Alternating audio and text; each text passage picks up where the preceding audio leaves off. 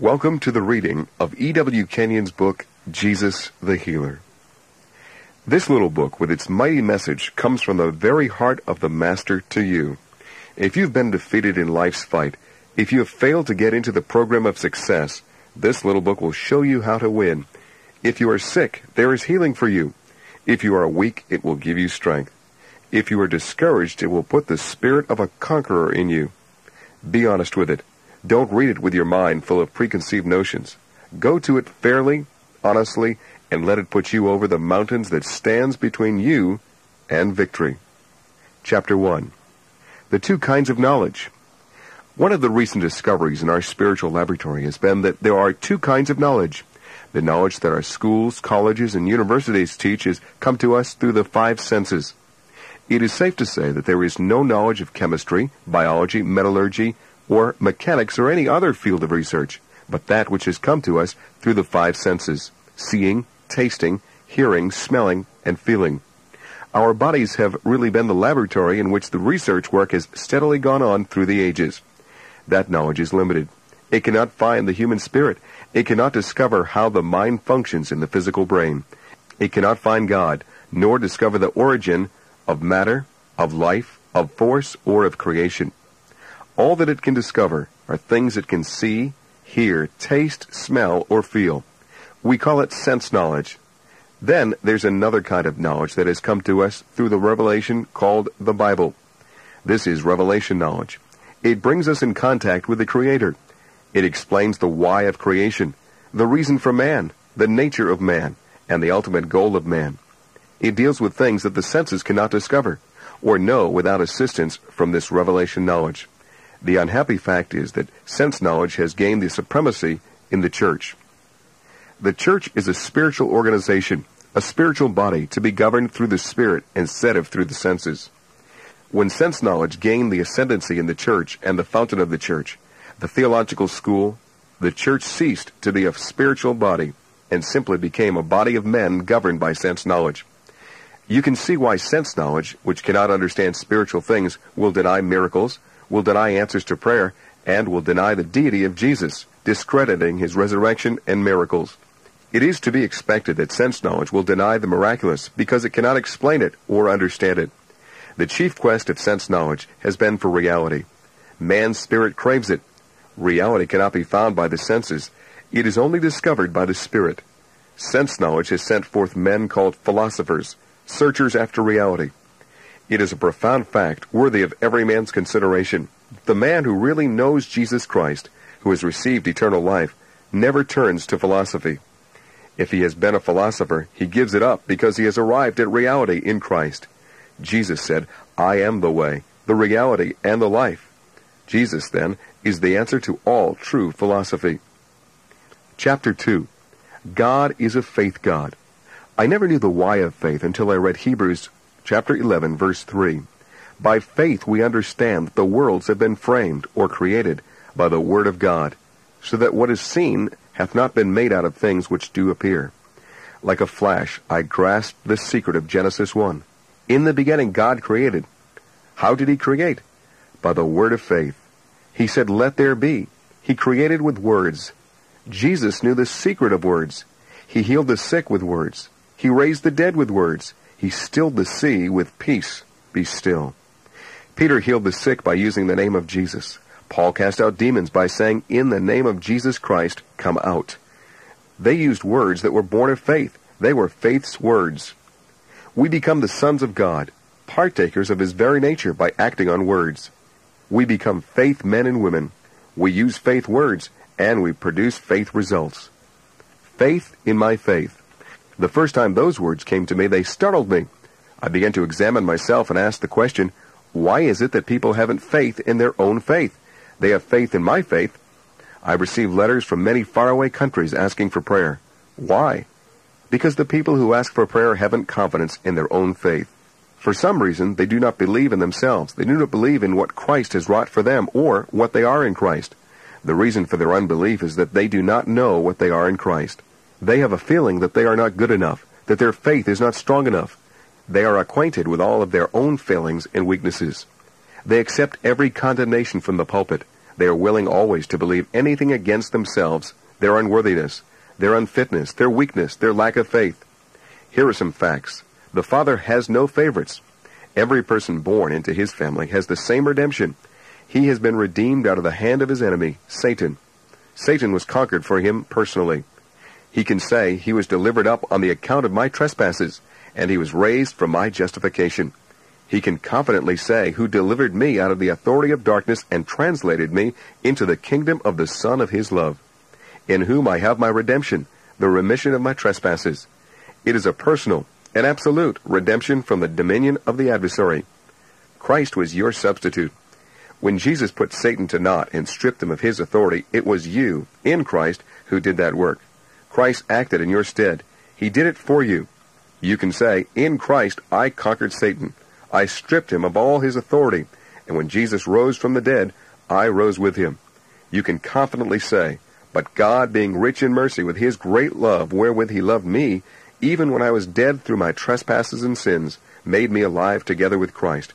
By grace have I been saved or healed, and raised me up with him, and made me sit with him in the heavenlies in Christ. It is when you take your place and begin to assume your rights and privileges that God begins to respond to you. You have the same eternal life that Jesus had. He that hath the Son hath the life. You have the Son, you have the life. Now you may say, I have taken Jesus Christ as my Savior. I have confessed Him as my Lord. God has given to me eternal life, His own nature. I am now a new creation, created in Christ Jesus, and have God's ability to perform the good works that were afore prepared that I should walk in them. I have God's ability, because I have God's nature. I have the same great, mighty Spirit who raised Jesus from the dead dwelling in me. Greater is He that is in me than he that is in the world. You are His righteousness you have the same righteousness as Jesus. Him who knew no sin, God made to be sin on your behalf, that you might become the righteousness of God in him. You can say, I have become the righteousness of God in him. There is therefore now no condemnation to me, because I am in Christ Jesus. That righteousness gives you the privilege of standing in the Father's presence as though you had never committed sin. You have his nature. You are his very own child. He is your Father. You can say, He has declared me righteous. He has made me righteous. I am the righteousness of God in Christ. As a son, you have the legal right to use the name of Jesus. No one has a better right to the use of the name of Jesus than you do. All authority is in that name. Now you say with me, Jesus declares that whatever I ask in his name, he will give it to me. So fearlessly I take my place. I lay my hands upon that loved one who is sick and say, In the name of Jesus, disease, leave this body. Demon, leave this body and go off into the abyss where you belong. Don't you ever touch this loved one again. Christ said that they who believe should lay hands on the sick, and they should recover. In my name they shall cast out demons. He said this to me. I accept it at its face value, and I act upon it, because he said it to me. Chapter 3 the Father has no favorites. It was a great comfort to my heart when I realized that the Father has no favorites, that all the children have their own place in his heart. He loves each one of them, even as he loves the Lord Jesus. Jesus said that the world may know that thou lovest them, even as thou lovest me. We all have the same redemption. The work that he wrought in Christ absolutely destroyed the power of the enemy, and now redeems every person who will accept Christ as Savior and confess him as Lord. That redemption is from the works of the adversary and from his dominion over our lives. Every one has the same righteousness. No one has a better righteousness or more righteousness. Righteousness comes through the new creation. When we are born again, we receive the life and nature of God the Father. His nature makes us righteous. No one has more of it than another. All who receive his nature have come into the family and are recognized as the sons and daughters of the great Father God. Everyone has the same rights in the family. Each one may have a different gift, but the gift does not make him any dearer to the heart of the Father. Everyone has the same love nature, the same great Holy Spirit who raised Jesus from the dead. Each one has a right to the same kind of fellowship with the Father. Each one has a right to the use of the name of Jesus. Each one has a right to the authority invested in that name to deliver people from the dominion of Satan, to heal the sick, and to cast out demons. The Father has no favorites. the closer your fellowship is with the Father, the sweeter and richer your life will be. Chapter 4 The Living Word The problem of healing is a problem of the integrity of the Word. Many have never recognized it, but the Word is the healer today. God, in Christ, wrought a perfect redemption. In that redemption, there is perfect healing for every believer. But because of lack of knowledge of the Word, Christians everywhere are sick. Psalm 107.20 perfectly illustrates this. He sent His Word and healed them. 1 John 1.1 In the beginning was the Word, and the Word was with God, and the Word was God. The 14th verse, And the Word became flesh, and dwelt among us, and we beheld the glory. Glory as of the only begotten from the Father, full of grace and truth. That is the Word He sent. He had sent His spoken Word through the prophets. The living Word was made flesh. Now, He unveils the life-giving Word in the Gospels and the Epistles.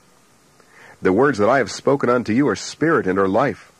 For the Logos of God is a living thing, active and more cutting than any sword with the double edge, penetrating to the very division of soul and spirit, joint and marrow, scrutinizing the very thoughts conceptions of the heart. The Word becomes a living thing only as we act upon it. The Word is God speaking. It is always a present tense fact. You might say that the Word is always now, just as God is always now. The Word is a part of God Himself. God and His Word are one just as you and your Word are one. The Word is the will of the Father, just as Jesus, the Word made flesh, was the will of the Father during his earthly ministry. What God says is what God says will become. Had he not wanted it to be, he would not have said it. You can depend upon his word utterly. You have depended upon institutions and men. Institutions may fail, individuals may die, nations may disintegrate, but God cannot deny himself. Behind the Word is the integrity of God. Not only is His integrity behind the Word, but His very throne is involved in His Word. Hebrews 7.22 declares that Jesus is the surety of the new covenant. By so much also hath Jesus become the surety of a better covenant. He is back of every word from Matthew to Revelation. Every word was God breathed. The throne upon which Jesus is seated is back of every word. Faith, hope, and mental assent there must be a clear distinction in your mind between believing and mental assent. Believing the Word is acting on the Word. Mental assent is acknowledging the truthfulness of the Word, the integrity of the Word, but never acting upon it. Mental assent is standing outside the bakery and coveting the cake in the window. It is not possessing. Hope is not faith. It's not believing. Hope is always living in the future. Faith is always now. It's not passivity. Passivity lies quietly without action, without choice, inert. Believing is acting on the Word. Believing the Word is not only recognizing its utter truthfulness, but it's taking it to be your very own now. To act on His Word is to do His will, and to act in His will. He is honored by our acting on the Word. He is dishonored by our mentally assenting to its truthfulness, by our hoping that it will become true sometime, and by our passivity that lies quietly rejoicing in the Word but has no part in it. He that believeth hath. If you believe, you have. His name is glorified by our acting on the Word. The Father is glorified by our acting on the Word. Remember that His throne is back of His Word. His integrity is involved in it. John 15:7. If ye abide in me and my words abide in you, ask whatsoever ye will, and it shall be done unto you. Herein is my Father glorified, that ye bear much fruit, and so shall ye be my disciples. That is the fruit of the indwelling Word, which has prompted prayers that are answered. The case stated. There are two views of healing. The most common view is that healing is not in the redemptive work of Christ, but belongs to us if we have faith enough to claim it. This belief holds that faith is the gift of God. If God gives you faith for your healing, you'll be healed. If He does not give you faith, there's no need to struggle for your healing. Your only hope is in the arm of the flesh. This view is superficial. It is the result of sense knowledge. Sense knowledge is the knowledge of natural man that is gained through the senses. It is the kind of knowledge taught in all our technical schools and universities. The other kind of knowledge is revelation knowledge. It teaches that miracles are for today. Sense knowledge repudiates it in a very large measure because it is above the knowledge of the senses. The second view of healing is that it is part of the plan of redemption, that disease came with the fall, and that sickness is a work of the adversary. Because disease came with the fall, God is the natural, logical healer. Man cannot deal with the sin problem. He cannot make himself righteous. He cannot rid himself of sin consciousness. These can only come through the finished work of Christ. God planned that when we were recreated, the recreation which comes through our receiving the nature and life of God, we would be righteous and partake of His righteousness, which is His very nature. This would give us the position of sons. The new creation is more than being baptized or confirmed. It is receiving the life and nature of the Father. Our spirits are recreated by receiving eternal life. Isaiah 53 holds the key of redemption. Jesus was made sin with our sins. Not only was he made sin with our sins, but he was made sick with our sicknesses. Natural man is called sin. 2 Corinthians 6, 14 through 16, Be not unequally yoked with unbelievers, for what fellowship hath righteousness and iniquity? Or what communion hath light with darkness? The believer is called righteousness. The unbeliever is called iniquity. He has not only committed sin, but he is sin. The believer is called light, and the unbeliever is called darkness. Just as the sinner is sin, the sick man is not only sick, but he is sickness. Sin deals with the spirit. Sickness is a spiritual thing revealed in the body. And what conquered hath Christ with Belial? The believer is called Christ because Christ is a part of the body. The branch is part of the vine. It is as much part of the vine as the vine itself. 1 Corinthians 12, 12. For as the body is one, and hath many members, and all the members of the body being many are one body, so also is Christ. The man outside of Christ is called Belial. That perfectly agrees with 1 John 3.10. In this the children of God are manifest, and the children of the devil. When God laid our sin on Jesus, he laid us on Jesus. He laid the whole man on Jesus. He laid his sins, his weaknesses, his infirmities and diseases, his union with the adversary on Jesus. Jesus became sin with our sin, became sick with our sickness. Isaiah 53:10. Yet it pleased Jehovah to bruise him; he hath put him to grief. Another translation reads, It pleased Jehovah to crush him with disease; he hath made him sick. The sixth verse, All we like sheep have gone astray; we have turned every one to his own way, and Jehovah hath laid on him the iniquity of us all. Afflicted in spirit. Jesus was made sick with our sicknesses. He was made sin with our sin. This was God's method of dealing with the sin problem. He settled the sin problem. There is no sin problem.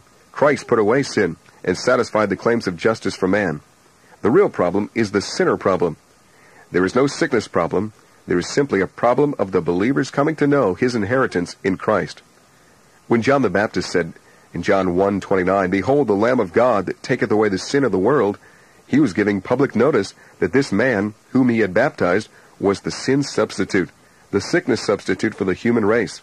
Sin and sickness come from the same source. Satan is the author of both. I am sure that it is God's order that the believer should be as free from sickness as he is from sin. He should be as free from the fear of disease as he is from the condemnation of sin. God cannot see sin in the new creation, neither can he see sickness in the new creation. James wrote, Is any sick among you?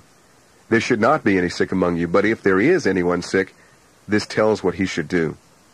It was the plan of the Father that every believer should know what Peter tells us in 1 Peter 2.24, who his own self bare our sins in his body upon the tree, that we having died unto sins might live unto righteousness, by whose stripes ye were healed.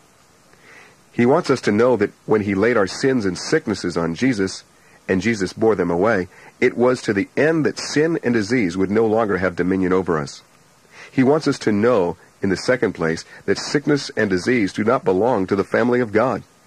If there should be any sickness among us, it's because of a low state of knowledge of our rights and privileges in our redemption.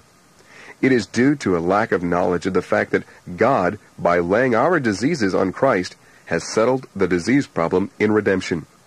We should be as free from the fear of sickness as we are free from the condemnation of sin.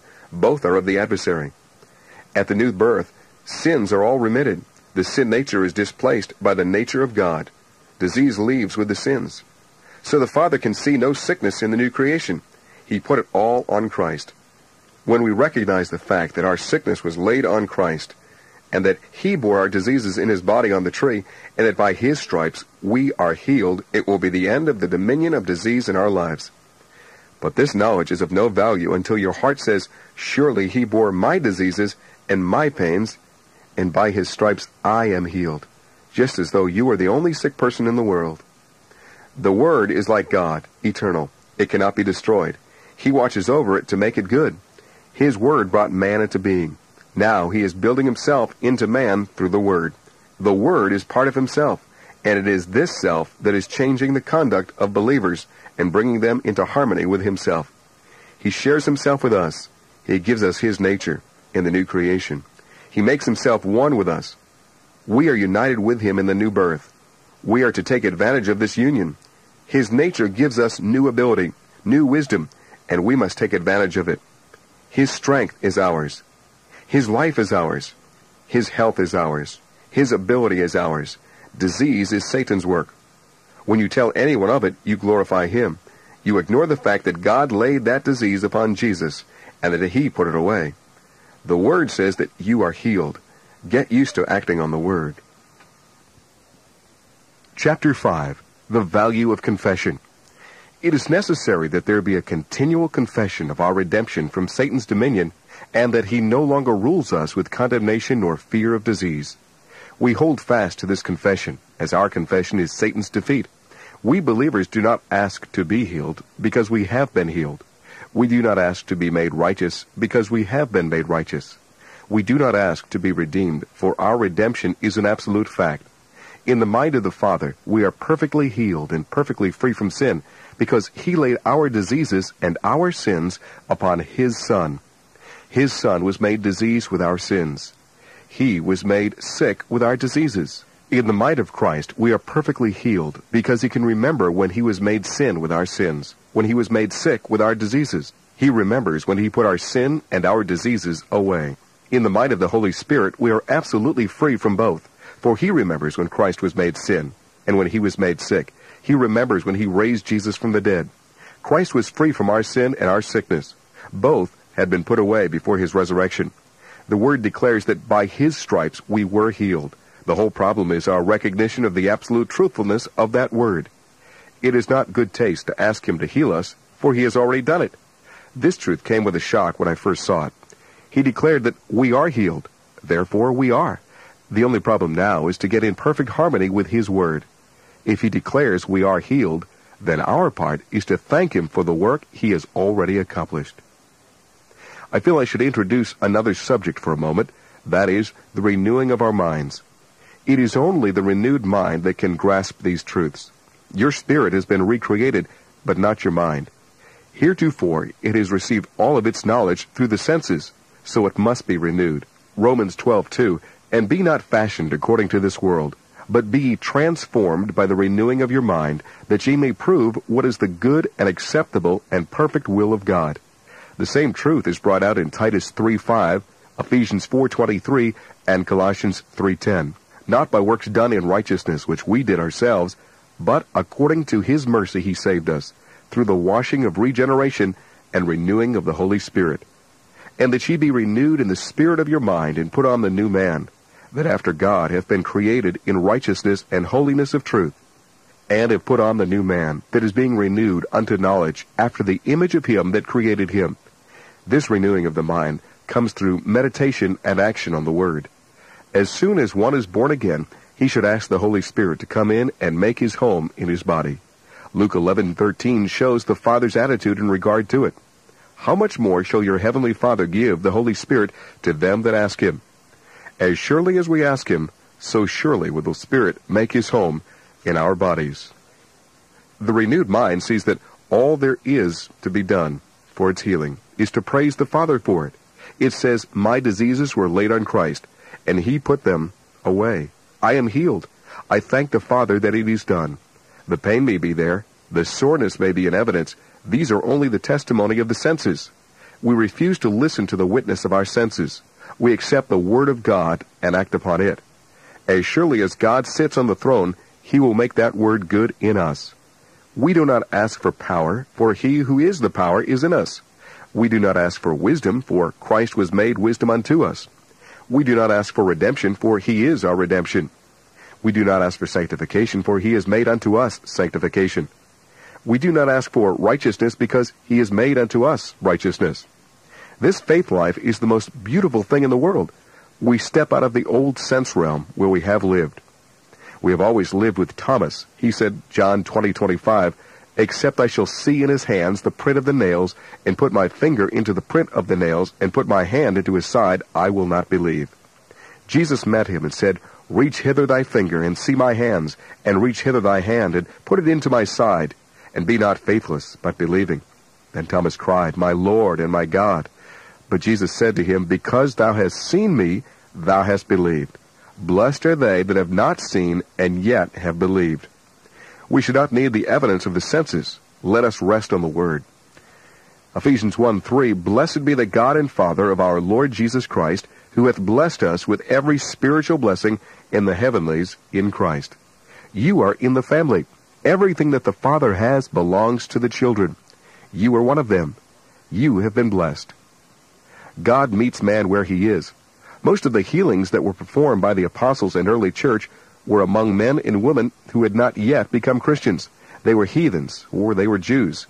Healing was God's method of advertising, God's method of revealing himself to the natural mind.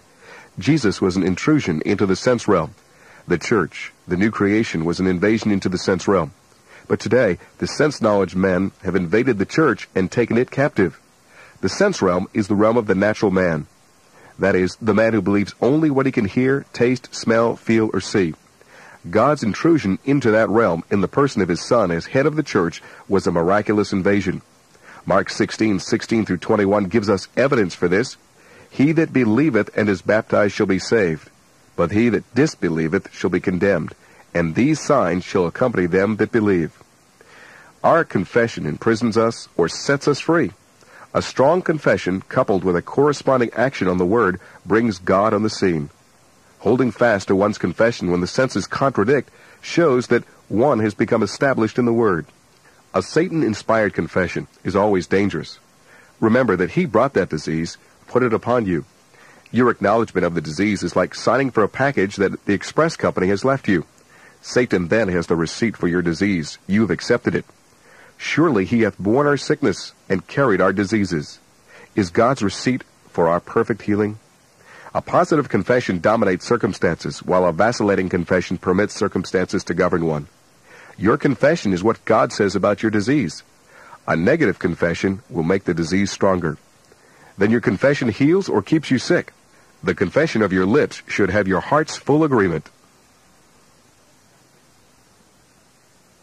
Chapter 6 As soon as a man believed, these signs were to accompany him. In my name shall they cast out demons. They shall speak with new tongues. They shall take up serpents. And if they drink any deadly thing, it shall in no wise hurt them. They shall lay hands on the sick, and they shall recover. The word believer means a believing one. As soon as a man was born again, God planned that he should advertise the new creation by healing sick folk in the presence of the unsaved world. Jesus' entire ministry was a combat with the demonical forces. The same thing is true of the church. All disease, all sickness, all pain, all trouble, all sin is a result of the satanic hatred of the human race. In my name they shall cast out demons. They were to take Jesus' place. They were going out into the world and acting for him. 1 John 3 8. Jesus came to destroy the works of the devil. We are to act for him today. John 14:12 Greater works than these shall ye do because I go unto the Father. And whatsoever ye shall ask in my name, that will I do, that the Father may be glorified in the Son. If ye shall ask anything in my name, that will I do. He is not talking about prayer. He's talking about casting out demons, about healing the sick, and miracles. Whatsoever ye shall demand in my name. That word ask means demand. You were demanding as Peter did at the beautiful gate that morning, when he said to the impotent man, In the name of Jesus Christ of Nazareth, rise and walk. The man was instantly healed, he was not a Christian. He had not accepted Christ. It is likely that the great multitudes who were healed recorded in Acts 5 were made up of unsaved people. The majority of the healings in the book of Acts were healings of sick people who had not yet become believers. Read carefully Acts 5:12 through 16. Practically all these people were unsaved Jews. In Acts 8, 8 through 10, the power of God is again unveiled. All these miracles performed in Jesus' name were upon the unsaved world. The church has missed its greatest method of advertising. God's method of advertising was through miracles. Divine healing has a large ministry with the unsaved today. Christ was a miracle. Christianity is Christ living in men today. The incarnation and the new birth are both of God. Both are miracles. Answered prayer is a miracle. When prayer does not produce miracles, it is but empty words. A miracle is God moving into the sense realm. Don't condemn yourself for your doubts. Cure them by getting acquainted with your Father. Confession always goes ahead of healing. Don't watch symptoms. Watch the Word. And be sure that your confession is bold and vigorous. Don't listen to people. Act on the Word. Be a doer of the Word. It is God speaking. You are healed. The Word says you are. Don't listen to the senses. Give the Word its place. God cannot lie. Chapter 7 God's method of healing babes in Christ. Is any among you sick? There should be no sick among you, because by his stripes you are healed. Because there has been no spiritual development or growth, and you are still babes in Christ, you are sick. Healing for the carnally minded man. Carnal means sense ruled. The carnally minded man is a Christian who has not yet come to the place where the Word rules him and governs his thinking.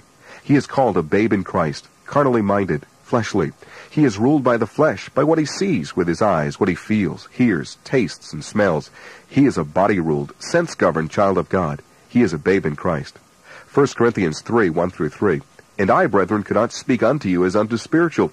That is, men whose spirits have gained the ascendancy over their thinking. Their spirit is recreated, but the unrenewed mind rules their spirit. I cannot speak unto you as men whose minds are subordinate to the Word of God. Their minds were not renewed. They were still babes. Hebrews 5, 11 through 14, of whom we have many things to say and hard of interpretation, seeing ye are become dull of hearing. How many believers fall under this admonition? They cannot understand the word. For every one that partaketh of milk is without experience of the word of righteousness, for he is a babe. This word of righteousness is very little understood. They have never had an experience in living righteousness. What do we mean by that? Righteousness means the ability to stand in the presence of the Father or of demons or of sickness and disease without the sense of inferiority, condemnation, or of sin consciousness. Those who live righteousness or who know by the word that they are the righteousness of God in Christ are absolute masters over circumstances, demons, and disease. 2 Corinthians 5:21 Him who knew no sin he made to be sin on our behalf that we might become the righteousness of God in him. You are having experience in the word of righteousness. You are finding that it is the word that heals. This ministry of the word of God is the word of righteousness. It is the word of righteousness that sets men free, leads them out of Satan's dominion into the liberty and freedom of sons of God. How fearless they become. How mightily they speak. 14th verse. But solid food is for full-grown men, even those who by reason of use have their senses exercised to discern good and evil. The believer described above has grown up into a spiritual life in Christ. He is fed on the Word until the Word has transfigured him. James 5:14 through 16 is God's method of healing the carnally minded or the babes in Christ. God in great grace says, Let him call for the elders of the church, and let them pray over him, anointing him with oil in the name of the Lord. And the prayer of faith shall save him that is sick, and the Lord shall raise him up. And if he have committed sins, it shall be forgiven him. Confess therefore your sins one to another, and pray one for another, that ye may be healed. The supplication of a righteous man availeth much in its working. Notice very carefully these facts. He cannot see that his disease was laid on Christ, but he can see the elders, hear their prayers, and feel the anointing oil upon his forehead. He can feel their hands upon his head. He is living in the realm of the senses. Grace comes down and meets him in this realm. If he had taken advantage of his privileges, he would have acted on 1 John 1 9. If we confess our sins, he is faithful and righteous to forgive us our sins and to cleanse us from all unrighteousness. This scripture is to the Christian. Had that believer, that babe in Christ, taken advantage of his rights and privileges, he would have looked up and said, Father, forgive me for the thing I have done which caused my sickness. The Father would have forgiven him and healed him then. But he has to see and feel before he can believe. He belongs to Thomas' class. When I see, I will believe. Practically all the faith that men had in Jesus before his death and resurrection was sense knowledge faith. They believed in things they saw and heard. They could not believe in a resurrection. They had never seen a resurrection. They had seen Lazarus raised from the dead. He was simply raised, brought back to life again. He was not resurrected. He died again.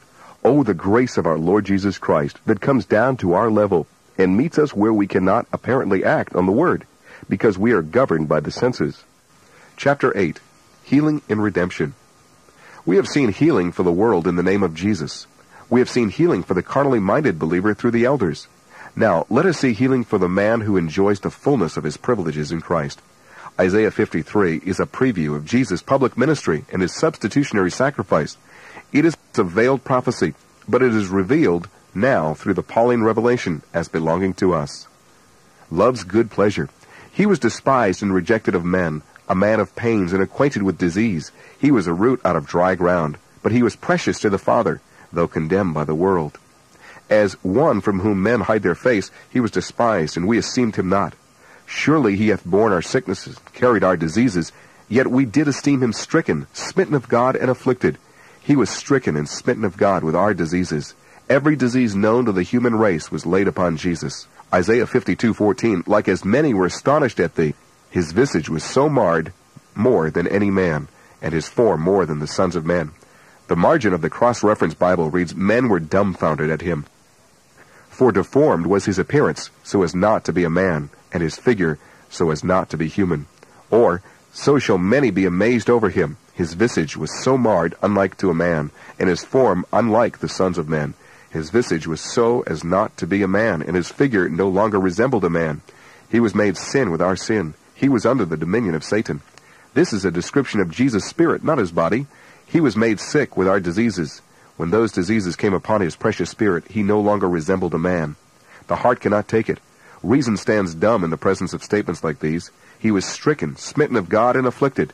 It was God who laid our diseases upon him. It was justice that demanded a recompense for our offenses. He was wounded for our transgressions. He was bruised for our iniquities. The chastisement of our peace was upon him, and with his stripes we are healed. Sickness is spiritual. Now you can see this fact that sickness was healed spiritually. God did not deal with sickness physically. Disease today is spiritual. I have found that when I can prove through the Word that our diseases were laid on Jesus and the sick man accepts that fact, he is instantly healed. As long as we think that disease is purely physical, we will not get our deliverance. But when we know it is spiritual, and it must be healed by the Word of God, for you remember he said he sent his Word and healed them, then healing becomes a reality. He was wounded for our transgressions. This was spiritual. He was bruised for our iniquities. It was a spiritual bruising. The wounds that the soldiers made did not take away sin, for if they had, sin would be a physical thing, a sense knowledge thing. Human justice deals only with sense evidences, not what a man thinks, but what he says or does. He endured sufferings that the senses cannot understand. They stand mute and helpless in the presence of this great spiritual tragedy that took place on Calvary. The chastisement of our peace was upon him, and with his stripes we are healed. It was not the physical wounds made by the uh, lictor, it was stripes that Jesus laid upon his spirit. All we like sheep have gone astray. We have turned every one to his own way, and Jehovah hath laid on him the iniquity of us all. Tenth verse. Yet it pleased Jehovah to bruise him. He hath made him sick. Marginal rendering of the Revised Version. Love could see humanity redeemed. Faith could see a new creation. He made him sick with our sickness. We need not be sick. Only ignorance of our rights or refusal to act upon the word can keep us ill. He made him sin with our sin. He became sin that we might become righteous. He went to hell that we might go to heaven. He was made weak that we might be made strong. He took our place, met every need, satisfied every claim of justice, and set us free. If this be the case, sickness on the part of the believer is wrong, just as weakness, and every other thing that Satan brought upon man is wrong because he suffered to put it away. Some facts about the supernatural life. In the mind of the Father, we are supermen. We are conquerors. We are overcomers. 1 John 5, 4 and 5. For whatsoever is begotten of God overcometh the world. And this is the victory that overcometh the world, even our faith. It was our faith that brought us into the family of conquerors. Who is he that overcometh the world? But he that believeth that Jesus is the Son of God. We believe that Jesus is the Son of God, that he died for our sins according to Scripture, and that he arose for our justification. We believe that the moment we take him to be our Savior and confess him as our Lord, God takes us to be his children and gives us eternal life. This places us in the realm of conquerors. We are supermen and superwomen. Believers are winners. Healing and victory are ours. They are ours without asking. All we need to do is simply know it and praise him for it. Hebrews 4, 14 through 16, having then a great high priest who hath passed through the heavens, Jesus, the Son of God, let us hold fast our confession. Your old version reads profession. We are to hold fast our confession. What is our confession? It is that we are new creations, that sin has been put away, and that we are the righteousness of God in him. We confess that surely he has borne our sicknesses and carried our diseases. Our confession is that he was stricken, smitten of God with our infirmities and weaknesses, and now, by his stripes, we are absolutely healed. Sin and disease have been put away, and in the name of Jesus we have dominion over Satan and the work of his hands. In his name we cast out demons, and in his name we lay hands on the sick and they do recover. If we can cast out demons, we can also command the demon disease to leave our bodies, for disease was brought there by a demon, and is being developed by a demon. We say, in Jesus' name, demon, leave this body. That demon is under obligation, in the name of Jesus, to obey. When Jesus arose from the dead, he arose because we with him had conquered Satan. Colossians 2.15 Having despoiled the principalities and the powers, he made a show of them openly, triumphing over them in it. Jesus' triumph is our triumph. Jesus' victory is our victory. He did nothing for himself. It was all for us. Today, we are more than conquerors through him who loved us. We should never talk about our diseases. When we tell our troubles to people, it's always to get their sympathy. That trouble came from the adversary. When we tell our troubles, we are giving our testimony of Satan's ability to get us into difficulty. When we talk about our disease, we are glorifying the adversary who had the ability to put that disease upon us. When we confess our lack of strength or ability, we confess that Satan has so blinded us that we cannot enjoy our rights and privileges. Psalm 27:1 Jehovah is my light and my salvation. Whom shall I fear? Jehovah is the strength of my life. Of whom shall I be afraid? God has made him to be wisdom unto us. He has made him to be redemption unto us. If this be true, then Satan has no right to reign over us with sickness, disease, weakness, or failure. Every time we talk of our troubles, we glorify the being who put the troubles upon us. Our confession should be that God is today our strength, our wisdom, our complete and perfect redemption, our sanctification, and our righteousness. We are the righteousness of God in Him. We can do all things in Him who strengthens us. Today, the name of Jesus in our lips can conquer disease and sickness. That name can bring courage and victory to the defeated and whipped. The prayer of unbelief never gives faith. When you pray for faith, you confess your unbelief. This increases your doubts, for the prayer is never heard. The doubter often prays for things already his own. God has blessed him with every spiritual blessing that governs every spiritual need. Redemption has never been seen as a reality. It is a theory, a creed, a doctrine. Few expect experimental evidence of it. Satan has taken advantage of our ignorance of redemption and put disease upon us, holding us in bondage. The defeated one holds his master in bondage. The believer is Satan's master. Chapter 9 Methods of Healing. There are five ways by which healings are obtained through the Word. It will be interesting to notice them. In a previous chapter, I have called your attention to the fact that the early church used healing as a means of advertising the gospel as well as blessing the people. John 14, 13, and 14 can be used in this connection. And whatsoever ye shall ask or demand in my name, that will I do, that the Father may be glorified in the Son. If ye shall ask anything in my name, that will I do. If a pain comes, you say, In the name of Jesus Christ, leave my body. The pain must go. You are the master of your own body. You rule it. You have a right to freedom from pain or sickness. In that name, you command it to leave. You are not demanding it of the Father, because the Father has given you authority over these demoniacal forces. You can use the name to break the power of the adversary over the unsaved and make it easy for them to accept Christ. In that name, they that believe shall lay hands on the sick, and they shall recover. Every believer should understand this clearly, that he has a right to perfect deliverance from the hand of his enemy in that name. The second method is found in Mark 16:18. In my name they shall lay hands on the sick, and they shall recover. The believer has the nature of God in him, he has the life of God in him. The Spirit dwells in him. It is that power within him that goes out through his hands in the name of Jesus and heals the sick. Sometimes it is accompanied by manifestations. The person feels the life of God go pouring through his body. Other times there is no manifestation. It makes no difference whether or not there is any sense witness. They that believe shall lay hands on the sick, and they shall recover. The same power that is in him can be exercised in the name of Jesus for a sick one in a distant place. The moment he prays in that name, God's healing power reaches out to that one and he is healed. A third method is for the carnal believer, that is, the believer who is governed by the senses and not by the Word. 1 Corinthians 3, 1 through 3 calls him a babe in Christ. James 5.14 says, Is any among you sick?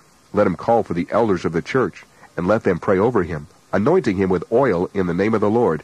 And the prayer of faith shall save him that is sick, and the Lord shall raise him up, and if he have committed sins, it shall be forgiven him. This scripture is not for full-grown believers, but for those who have never developed their spiritual life, so as to take their places in Christ. It is for those who must depend on others to pray for them. A fourth method of healing is found in John 16:23 and 24, and in that day ye shall ask me nothing. Verily, verily, I say unto you, if ye shall ask anything of the Father, he will give it you in my name. Hitherto have ye asked nothing in my name. Ask, and ye shall receive, that your joy may be made full. Every believer has a right to ask the Father for healing or any other blessing, and if he asks in the name of Jesus, he has the absolute guarantee that the Father will hear and answer his petition. A fifth method of healing is found in Matthew 18, 18 through 20. If two of you shall agree on earth as touching anything that they shall ask, it shall be done for them of my Father who is in heaven. For where two or three are gathered together in my name, there am I in the midst of them. Where two are united and are demanding in Jesus' name the healing of loved ones, prayer is bound to be answered. God watches over his word to make it good. There's another method of healing which I believe to be the best. Isaiah 53, 3 through 5. Surely he hath borne our sicknesses and carried our diseases. Yet we did esteem him stricken and smitten of God and afflicted. He was smitten with our diseases. He was wounded for our transgressions. He was bruised for our iniquities. The chastisement of our peace was upon him, and with his stripes we are healed. Here is the absolute statement of fact that by his stripes we are healed. 1 Peter 2.24 Who his own self bare our sins in his body upon the tree, that we, having died unto sins, might live unto righteousness, by whose stripes ye were healed. Matthew 8:16 and 17, that it might be fulfilled which was spoken through Isaiah the prophet, saying, Himself took our infirmities and bare our diseases. These scriptures prove that healing is ours. We simply know that by his stripes we are healed. We thank the Father for our perfect deliverance. It is not necessary that we pray or ask the Father to heal us. We know that he said, By his stripes ye were healed. The afflictions in our body were laid upon Jesus. He bore them. We do not need to bear them.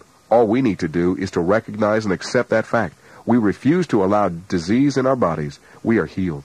Every believer should thoroughly understand that his healing was consummated in Christ. I would have faith. If I had faith, I would have my healing. But the word does not seem real to me. I read it and I say, By his stripes I am healed, and yet in my mind I hear another voice saying, But the pain is still there. I find that I am giving two testimonies continually, one with my lips and another with my intellect. We should fully understand this. No matter what one's standing is in heaven, if he has no faith in it, it does him no good. No matter what a man's privileges are, if the hand of faith is paralyzed, he cannot take hold of them. As long as he is ruled by sin consciousness, he has no sense of redemption. He is under condemnation. Satan rules him. As long as Satan rules, faith will be shriveled and undeveloped. All through the Pauline revelation, from Romans through Hebrews, a complete redemption is taught. There is a perfect redemption. Satan is conquered.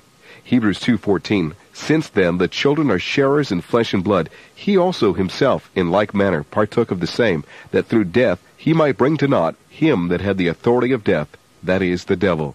He is stripped of his authority. Revelation 1:18 Jesus triumphantly says, I am he that was dead, and behold I am alive forevermore, and I have the keys of death and Hades. Satan was put to naught. His ability was paralyzed. Colossians 2:15 he put off from himself the principalities and powers, and made a show of them openly, triumphing over them in it. Satan then has no dominion over us. Romans 6:14 Sin shall not have dominion over you. If redemption does not deliver us from sin consciousness, it is no better than Judaism. If it cannot free us now from condemnation, God and Christ have failed. Satan has become the master. If sin consciousness rules, acting on the word is impossible. Faith is a withered flower where sin consciousness rules. The problem of faith, then, is to get rid of sin consciousness. The Word is the only cure. It declares that we are redeemed. Ephesians 1 7, in whom we have our redemption, through the blood, the remission of our sins. If we have been redeemed, Satan's dominion is broken, and we are free. Not only has a perfect redemption been accomplished, but provision for a perfect recreation has been made. 2 Corinthians 5:17 Wherefore if any man is in Christ, he is a new creation. The old things are passed away; behold, they are become new. But all things are of God, who reconciled us to himself through Christ, and gave unto us the ministry of reconciliation. There is a complete recreation and a complete reconciliation. If God has recreated us, we are not under bondage to the things of the old creation. If a man has been recreated, it is God's own work. He did it through the Holy Spirit and His own Word. That new creation is affected by the impartation of God's own nature. 2 Peter 1 4. We become partakers of the divine nature. We are actually born from above. The old sin nature has gone, and a new nature which is free from condemnation has taken its place. Romans 8 1 and verse 33 There is therefore now no condemnation to them that are in Christ Jesus. We have been made free from the law of sin and death. Who shall lay anything to the charge of God's elect? Who is he that condemneth? God has justified or declared us righteous. The word justify means to make righteous. Righteousness is the ability to stand in the Father's presence without the sense of guilt, sin, or inferiority. We stand there as though sin had never been. If redemption does not mean that, if the new creation does not give that, God has failed. The new creation must be as free from sin as Adam was before he committed sin, or God has failed in his redemptive work. Someone says, what about 1 John 1 6?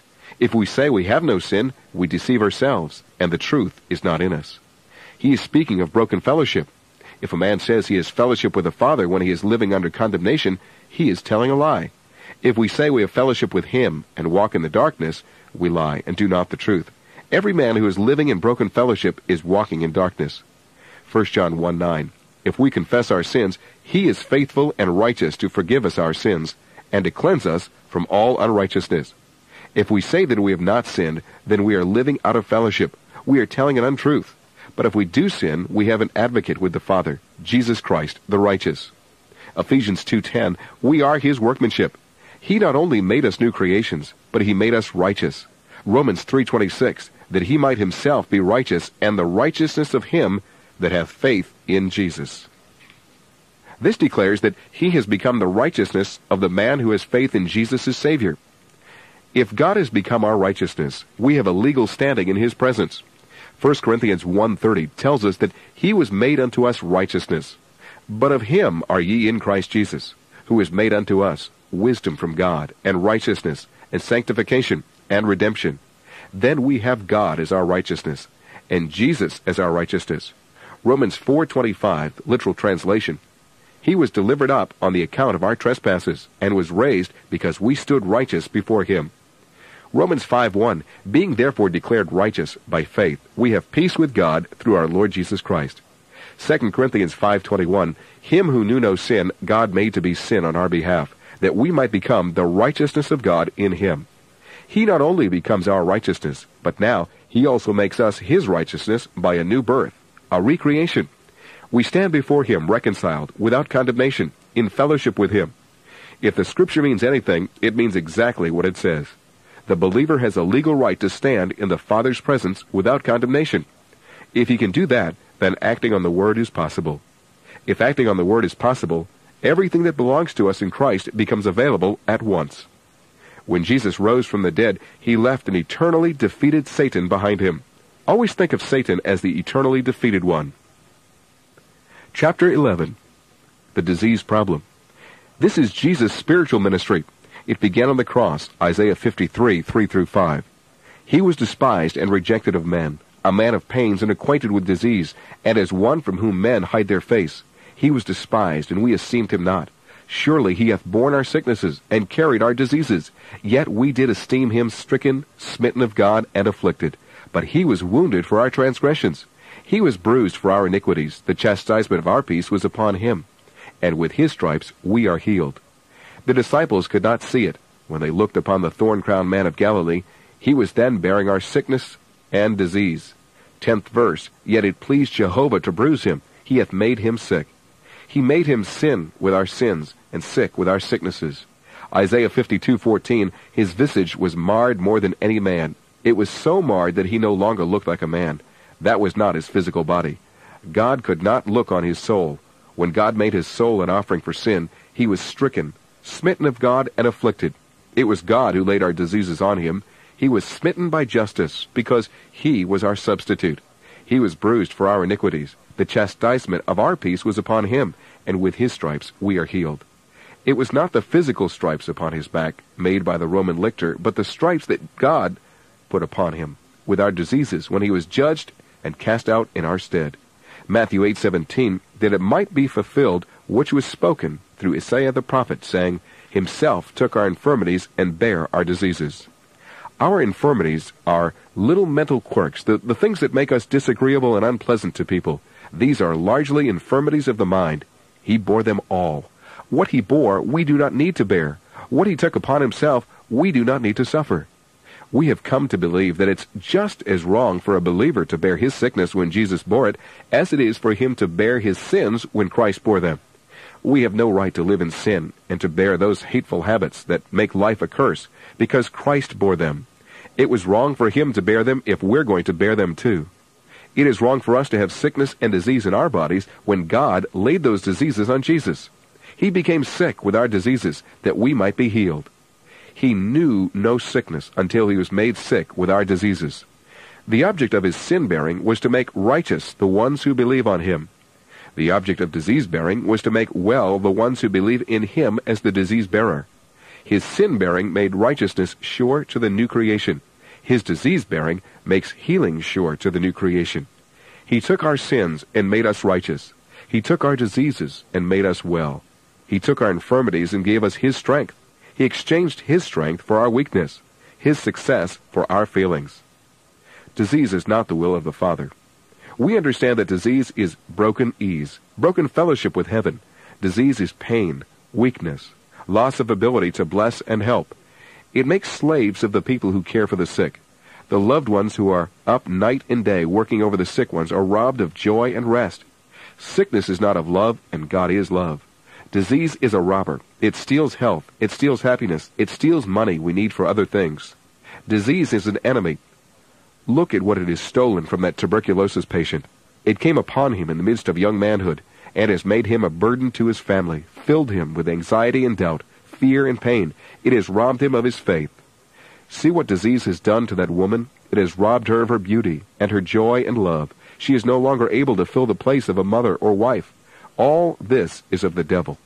Jesus said in Luke 13, 1 through 17, that disease was of Satan. And behold, a woman that had a spirit of infirmity eighteen years, and she was bowed together, and could in no wise lift herself up. And ought not this woman, being a daughter of Abraham, whom Satan had bound, lo, these eighteen years, to have been loosed from this bond? She was Satan bound. Acts 10.38 tells us that Jesus went about doing good and healing all that were oppressed of the devil. From the beginning to the end of Jesus' public ministry, he was combating Satan.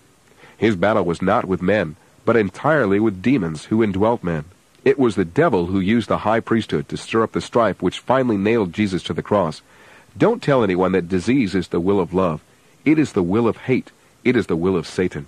If disease becomes the will of love, love is turned to hatred. If disease is the will of God, heaven will be filled with disease and sickness. Jesus was the express will of the Father. He went about healing the sick. Disease and sickness are never the will of the Father. To believe that they are is to be disillusioned by the adversary. If healing had not been in the plan of redemption, it would not have been in the substitutionary chapter of Isaiah 53. If healing had not been in redemption, the Father would not have taught it in His Word. Jesus healed all who came to Him, Jews and Gentiles alike. He was carrying out the will of the Father. He was the will of the Father. Chapter 12 Made Well in Christ. No matter from what angle you look at Christianity, it is a miracle. The most amazing miracle is the new creation. We have never been able to get at the heart of it. We have stood outside as spectators and looked at it from its various angles. A man becomes a new creation by receiving the very life and nature of God. Take these scriptures as illustrations. Colossians 2:13. And you being dead through your trespasses and the uncircumcision of the flesh, you, I say, did he make alive together with him, having been gracious to us in all our trespasses. We have been made alive together with him. Twelfth verse. Wherein ye were also raised with him through faith in the working of God who raised him from the dead. This is the legal aspect of the new creation, and everything that is legally ours can become a vital reality. In the mind of the Father, we were made alive with Christ.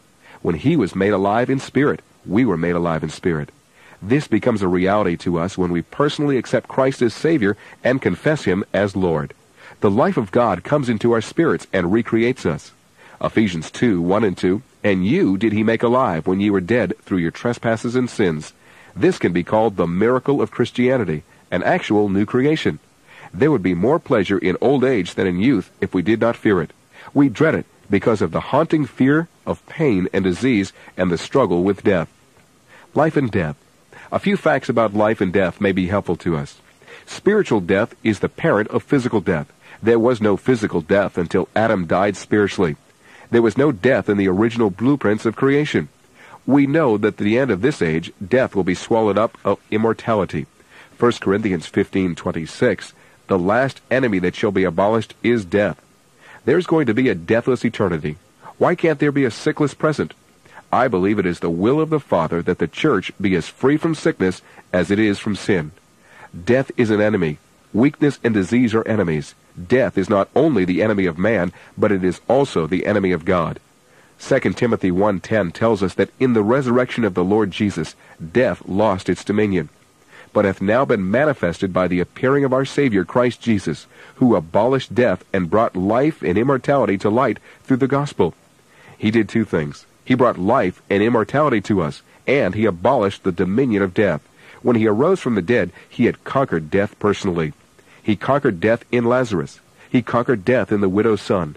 He was the Lord of life. Revelation 20:14, and death and Hades were cast into the lake of fire. Revelation 21:4, and he shall wipe away every tear from their eyes, and death shall be no more. Neither shall there be mourning, nor crying, nor pain any more. It will be the end of death. This promise of the final destruction of death has in it a suggestion that there is in the plan of redemption something to give us assurance of a sickless life until our bodies wear out and mortality wins without a struggle. He was despised and rejected of men, a man of pains and acquainted with sickness. And as one acquainted from whom men hide their face, he was despised, and we esteemed him not. Surely he hath borne our diseases, and carried our sicknesses. Yet we did esteem him stricken, smitten of God, and afflicted. But he was wounded for our transgressions. He was bruised for our iniquities. The chastisement of our peace was upon him. And with his stripes we are healed. The tenth verse. Yet it pleased Jehovah to bruise him. He hath put him to grief, or made him sick. Twelfth verse. Because he poured out his soul unto death, and was numbered with the transgressors. Yet he bare the sin of many, and made intercession for the transgressors. That is his high priestly ministry, now at the right hand of the Father. We can see in this whole program that, heads up in these words, with his stripes we are healed, that the sin and disease problems have been settled. As surely as Jesus was our sin substitute as described in 2 Corinthians 5.21, so surely have we become the righteousness of God in him. The object of his being made sick with our diseases was that we might be perfectly healed with his life. There is no escaping the fact that as surely as he dealt with the sin problem, he dealt with the disease problem. Hebrews 9:26 But now once at the end of the ages hath he been manifested to put away sin by the sacrifice of himself. Hebrews 10:12 But he, when he had offered one sacrifice for sins, forever sat down on the right hand of God. He put sin away that we might be born again, become new creations, that the sin nature which had held us in bondage to the adversary should be eradicated, and that the nature of God should take its place. It is the new nature that settles the sin problem for us individually. The problem of sins is settled. The things we did before we accepted Christ are wiped out as though they had never been. Now we are in the family. We are the righteousness of God in him. Hebrews 10:38 But my righteous one shall live by faith, and if he shrink back, my soul hath no pleasure in him. The new creation is called the righteousness of God. He is the righteousness of God. His standing with the Father is just like Jesus' standing. But if he sins, he has an advocate with the Father. Jesus Christ the righteous.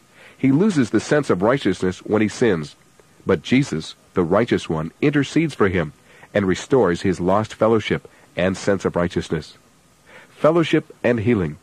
1 John 1 9. If we confess our sins, he is faithful and righteous to forgive us our sins and to cleanse us from all unrighteousness. This restores his fellowship, brings him back into full communion with the Father. Now, by the same token, after one has been healed because by his stripes we are healed, in the mind of God, he is just as much healed of disease as he is healed of sin. If after he has been healed of disease, the adversary puts upon him some other disease or infirmity, all he needs to do is to follow the procedure that he followed when he broke fellowship with the Father spiritually. Sickness is breaking fellowship with the Father physically. As he can get restoration of fellowship and restoration of his sense of righteousness by confessing his sin and by the advocacy of Jesus Christ, he can get his physical healing. Disease of the Spirit is the thing that keeps one from his healing. Diseases of the spirit are doubts, fears, sin consciousness, a sense of inferiority, fear of unworthiness, and a sense of unfitness to stand in God's presence. The blood of Jesus Christ, God's Son, cleanses from all this the moment he acknowledges his sin. Forgiveness means the absolute wiping out of everything he has confessed, as though he had never committed the act. 2 Corinthians 5, 4 and 5. For indeed, we that are in this tabernacle do groan, being burdened, not for that we would be unclothed, but that we would be clothed upon, that what is mortal may be swallowed up of life. Now he that wrought us for this very thing is God, who gave unto us the earnest of the Spirit. The Greek word here for life is zoe. It means eternal life, resurrection life. In other words, it means that the life of the Son of God, eternal life, can absolutely dominate, rule, swallow up, and control our physical lives. If this be true, then sickness is absolutely defeated, physical weakness is eliminated, and Psalm 27:1 is a reality. Jehovah is my light and my salvation. Whom shall I fear? Jehovah is the strength of my life. Of whom shall I be afraid? Light is knowledge. Jesus is the light of the world. He who walks in that light will not stumble, as one who walks in darkness, because he will have the light of life. John 8:12 I am the light of the world. He that followeth me shall not walk in the darkness, but shall have the light of life. The Word will be his lamp, his light, his salvation. That is true deliverance. That is redemption. Psalm 119, 105. Thy word is a lamp unto my feet, and a light unto my path. It is deliverance from the things that are not in the Father's will. You cannot for a moment believe that mortality is in the will of the Father. Mortality means weakness, sickness, death. You cannot conceive of disease and sickness being the will of the Father. Jehovah is my light and my salvation. This means salvation from sickness, disease, and weakness of the physical body. Fear will no longer dominate your life. If a man could be delivered from fear of weakness, death, or pain, he would be a conqueror. Redemption planned that very thing, that these bodies of ours should never be subject to disease after we are born again. Someone says, what about Paul's thorn in the flesh? That was not sickness. It was a demon interfering with his public ministry, in his speech, making him stammer, it had nothing to do with disease. All that foolish talk about Luke being Paul's physician is not true. Physicians were sorcerers. They belonged to the spiritualistic group.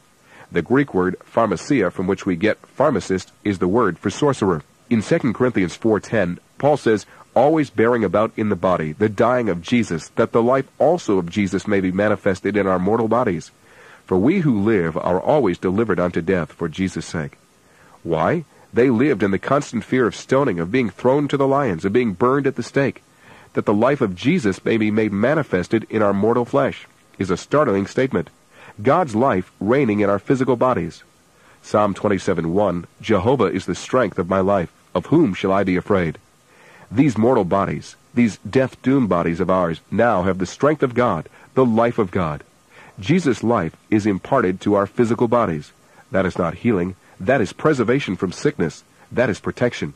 That is the strength and power and ability of God in our physical bodies. Don't try to get your healing. God has given it to you. Don't try to believe. You are a believer, and all things are yours. Don't talk doubt. It breeds more doubt.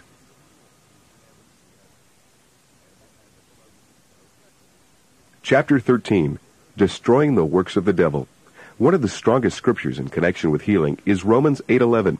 But if the Spirit of him that raised up Jesus from the dead dwelleth in you, he that raised up Christ Jesus from the dead shall give life also to your mortal bodies through his Spirit that dwelleth in you. This is physical healing. This is the Holy Spirit taking the life of God and making it efficacious in our physical bodies, making it health and strength and life to us. This same Holy Spirit, who raised the dead body of Jesus, is now working in our death-doomed bodies, making them perfect, sickless, and sinless. 1 John 3 8, He that doeth sin is of the devil, for the devil sinneth from the beginning. To this end was the Son of God manifested, that he might destroy the works of the devil. Jesus did his part of destroying the works of the devil. After he left the earth, he sent the Holy Spirit and gave us the use of his own name and this wonderful revelation, the New Testament, that we, his representatives here on the earth, might go on destroying the works of the devil. The sin, the sickness, and the disease that are in the church today are there because of our not taking our places in Christ. They are prevalent in the church today because we have never been exercised to do the work that Jesus said we were to do. Do you think he would have given us John 14, 12 through 14 if we were not to use it? Verily, verily, I say unto you, he that believeth on me, the works that I do shall he do also, and greater works than these shall he do, because I go unto the Father. He meant that we should do greater works than he did, because there are a greater number of us. Our work is that of destroying the works of the adversary, the weapon we are to use is found in the 13th and 14th verses. And whatsoever ye shall ask in my name, that will I do, that the Father may be glorified in the Son. If ye shall ask anything in my name, that will I do. That word ask means demand. His name is to be used in the sense that we see it used in Acts chapter 3 by Peter, who spoke to the impotent man at the gate of the temple, saying, In the name of Jesus Christ of Nazareth, walk. This is not prayer. This is casting out demons in that name. There is healing for the sick in that name. There is power to break disease and sickness in the hearts and lives of men in that name. Can that name of Jesus keep us from sickness? Can it keep us from want? Can it keep us from poverty, fear, and the dread of hunger and cold? Can that name be used just as Jesus suggested in Mark 16:18? And these signs shall accompany them that believe. In my name shall they cast out demons. They shall speak with new tongues. They shall take up serpents and if they drink any deadly thing, it shall in no wise hurt them. They shall lay hands on the sick, and they shall recover. The early church was utterly independent of circumstances. I don't mean the whole church, I mean the apostles who understood fully the use of the name of Jesus. Men could be sick then by breaking fellowship and because of lack of knowledge, just as they can be today. The early church, that is, the Gentile portion of it, had never had any revelation from God.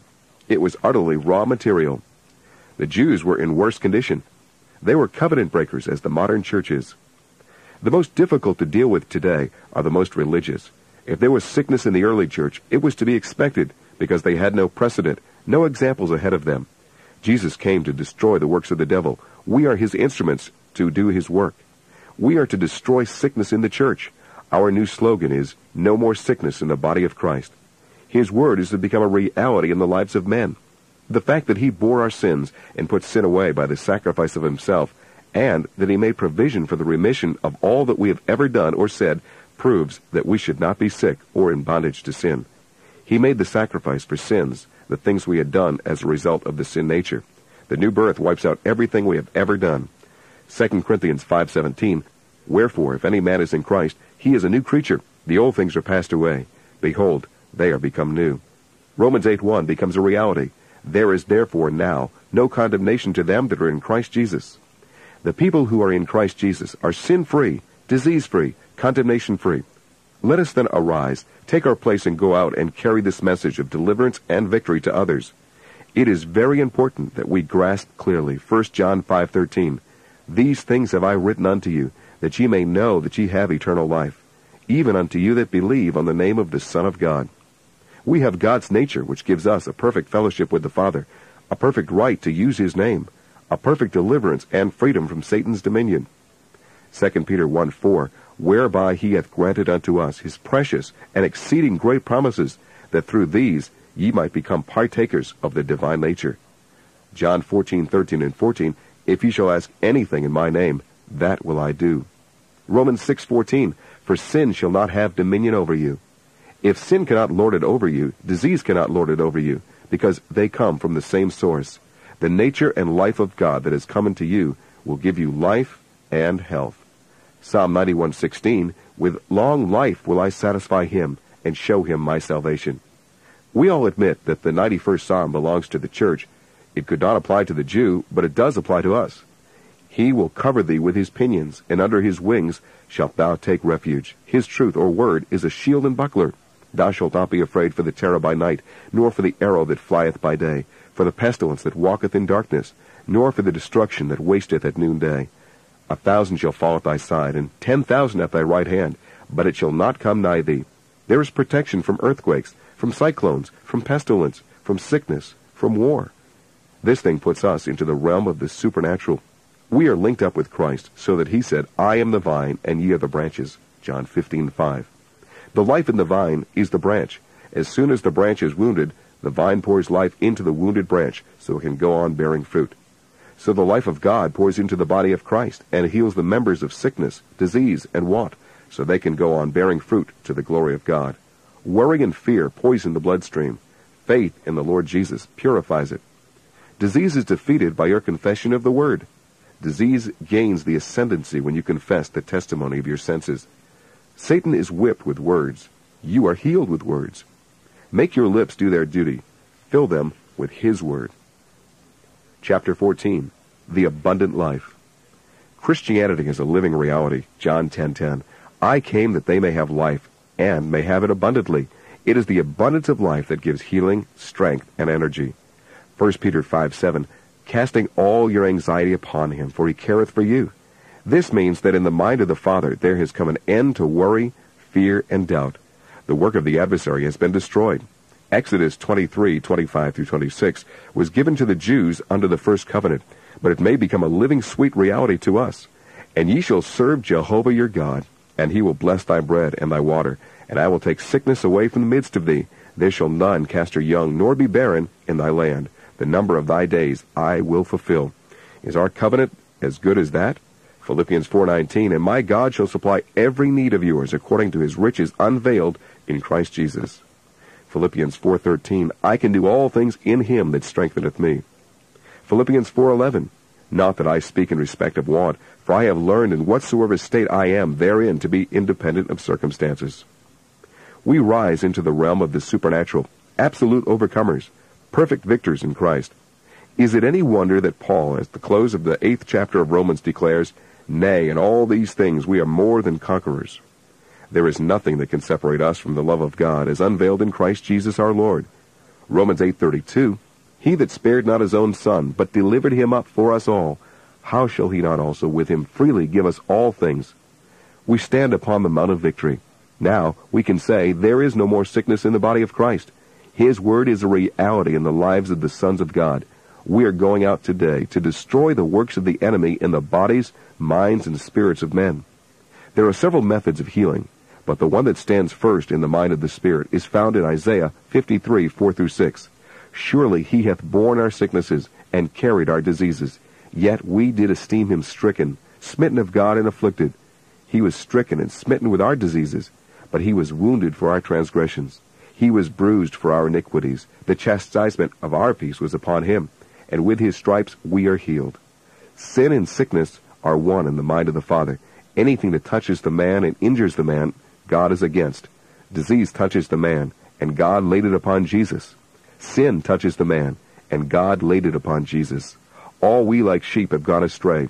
We have turned every one to his own way, and Jehovah hath laid on him the iniquity of us all. The tenth verse, He hath made him sick. When he declares that by his stripes we are healed, that means our freedom from sickness. That is our receipt in full for a sickless and sinless life for sin and disease shall not have dominion over us. We take what belongs to us as sons and daughters of God. We know that sin shall not have dominion over us, Romans 6:14. 1 John 1:7, we know that the blood of Jesus Christ cleanses from sin. But if we walk in the light as he is in the light, we have fellowship one with another. And the blood of Jesus, his son, cleanseth us from all sin. If we have committed sin, we have an advocate with the Father, 1 John 2 1. My little children, these things write I unto you, that ye may not sin. And if any man sin, we have an advocate with the Father, Jesus Christ the righteous. We know that if we confess our sins, he will forgive us and cleanse us. 1 John 1 9. If we confess our sins, he is faithful and righteous to forgive us our sins and to cleanse us from all unrighteousness. We come to him with all our diseases, knowing that all those diseases were laid on Jesus. that it is not right that we should bear them. The adversary has no right to put diseases on us because they were laid on Christ. I can say to the Father, Do you see what the adversary has done in my body? In the name of Jesus, I take deliverance from the thing with which Satan has afflicted me. I whispered to my heart, By his stripes I am healed. The pain must go. Multitudes are being healed like that today through our ministry. We can be just as free from diseases as we are free from bad habits. And after all, the habit of sickness is like any other unclean habit. There is provision made for perfect healing. None of us need suffer from the hand of the enemy. Your deliverance is in the redemptive work of Christ. Chapter 15 The Origin of Sickness. The cruelty of nature. It is hard for us to understand that the laws that are governing the earth very largely came into being with the fall of man and with the curse upon the earth. It is because of this that many accuse God of the accidents that take place, of the sickness and death of loved ones, of storms and catastrophes, of earthquakes and floods that continually occur. All these natural laws, as we understand them, were set aside by Jesus whenever it was necessary to bless humanity. They came with the fall. Their author is Satan, and when Satan is finally eliminated from human contact, or rather from the earth, these laws will stop functioning. The origin of sickness. Jesus' description of the Father and his declaration that he that hath seen me hath seen the Father makes it impossible for us for a moment to accept the teaching that disease and sickness are of God. The Father's very nature refutes the argument that he would use sickness to discipline us or to deepen our piety. Jesus plainly taught us in Luke 13, in speaking of the woman with the infirmity, that disease is of the adversary, and ought not this woman, being a daughter of Abraham, whom Satan hath bound, lo, these eighteen years, to have been loosed from this bond on the day of the Sabbath? If you'll read carefully the four Gospels, you'll notice that Jesus was continually casting demons out of sick people, breaking Satan's dominion over the lives of men and women. In Acts 10:38, Peter tells us, Jesus of Nazareth, how God anointed him with the Holy Spirit and with power, who went about doing good and healing all that were oppressed of the devil, for God was with him. In the Great Commission, Jesus said, These signs shall accompany them that believe. In my name shall they cast out demons. They shall speak with new tongues. They shall take up serpents. And if they drink any deadly thing, it shall in no wise hurt them. They shall lay hands on the sick, and they shall recover. There is no such thing as the separation of disease and sickness from Satan. Disease came with the fall of man. You cannot conceive of sickness in the Garden of Eden before Adam sinned. The fall was of the adversary. Sickness and sin have the same origin. Jesus' attitude toward sickness was an uncompromising warfare with Satan. He healed all who were sick. No one ever came to him who did not receive immediate deliverance. Jesus' attitude toward sin and his attitude toward sickness were identical. He dealt with sickness as he dealt with demons. We have been driven to the conclusion that if disease and sickness are of the devil, and we have found that they are, then there is only one attitude that the believer can take in regard to them. We must follow in Jesus' footsteps and deal with disease as Jesus dealt with it. How God dealt with disease under the first covenant. When Israel came out of Egypt, she was God's own covenant people. As soon as the nation had crossed the Red Sea and started toward its homeland, the angel of the covenant said to Moses in Exodus 15:26, "If thou wilt diligently hearken to the voice of Jehovah thy God, and will do that which is right in his eyes, and will give ear to his commandments and keep all his statutes, I will permit none of the diseases upon thee which I have permitted upon the Egyptians, for I am Jehovah that healeth thee. The student of the Hebrew will recognize that I have taken liberty to translate literally that expression, I will put none of these diseases upon thee. I believe it to be a correct translation. God did not put the diseases upon Israel, neither did he put the diseases upon the Egyptians. It is Satan, the God of this world, who has made men sick. Here Jehovah declares that he is to be Israel's healer. Exodus 23, 25, and 26 and ye shall serve Jehovah your God, and he will bless thy bread and thy water. And I will take sickness away from the midst of thee. There shall none cast her young, nor be barren in the land. The number of thy days I will fulfill. He says he will take sickness away from the midst of them. It's a remarkable fact that as long as Israel walked in the covenant, there was no sickness among them. There is no record of any babies or young people ever having died as long as they kept the covenant. There shall none cast her young. There were to be no miscarriages, nor abnormal abortions. There were to be no barren wives in the land. Every home was to have children. The number of thy days I will fulfill. There were to be no premature deaths. Every person was to grow to full age before he laid down his work. This is remarkable. Jehovah took over that nation. He became their healer, protector, and supplier of every need. He was everything they needed.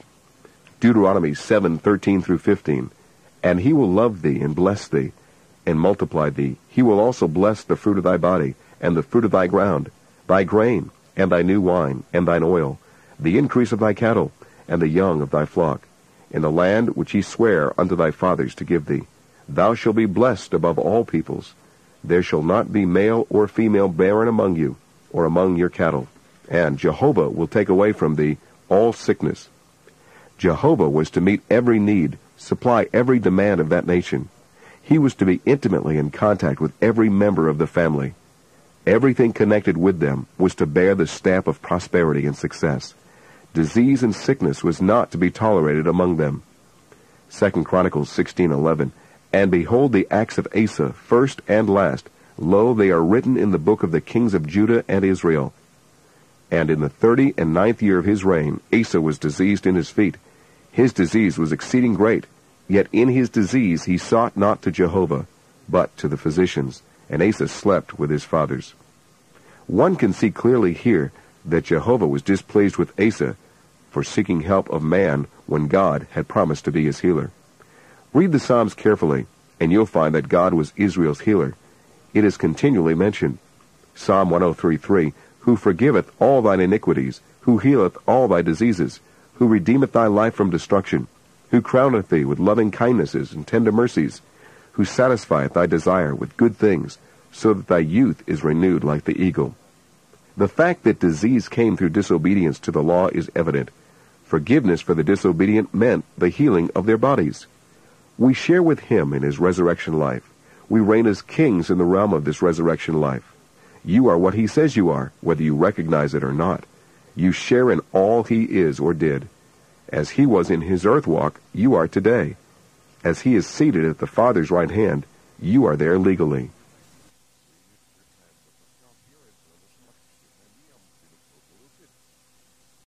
Chapter 16 Prophecies in regard to the coming healer. After God had told Israel that the reason for disease and sickness was that they had rebelled against the word of God, condemned the counsel of the Most High, he declared in Psalm 107, 17 through 20, Fools because of their transgression and because of their iniquities are afflicted. They took themselves out of the protection of the covenant.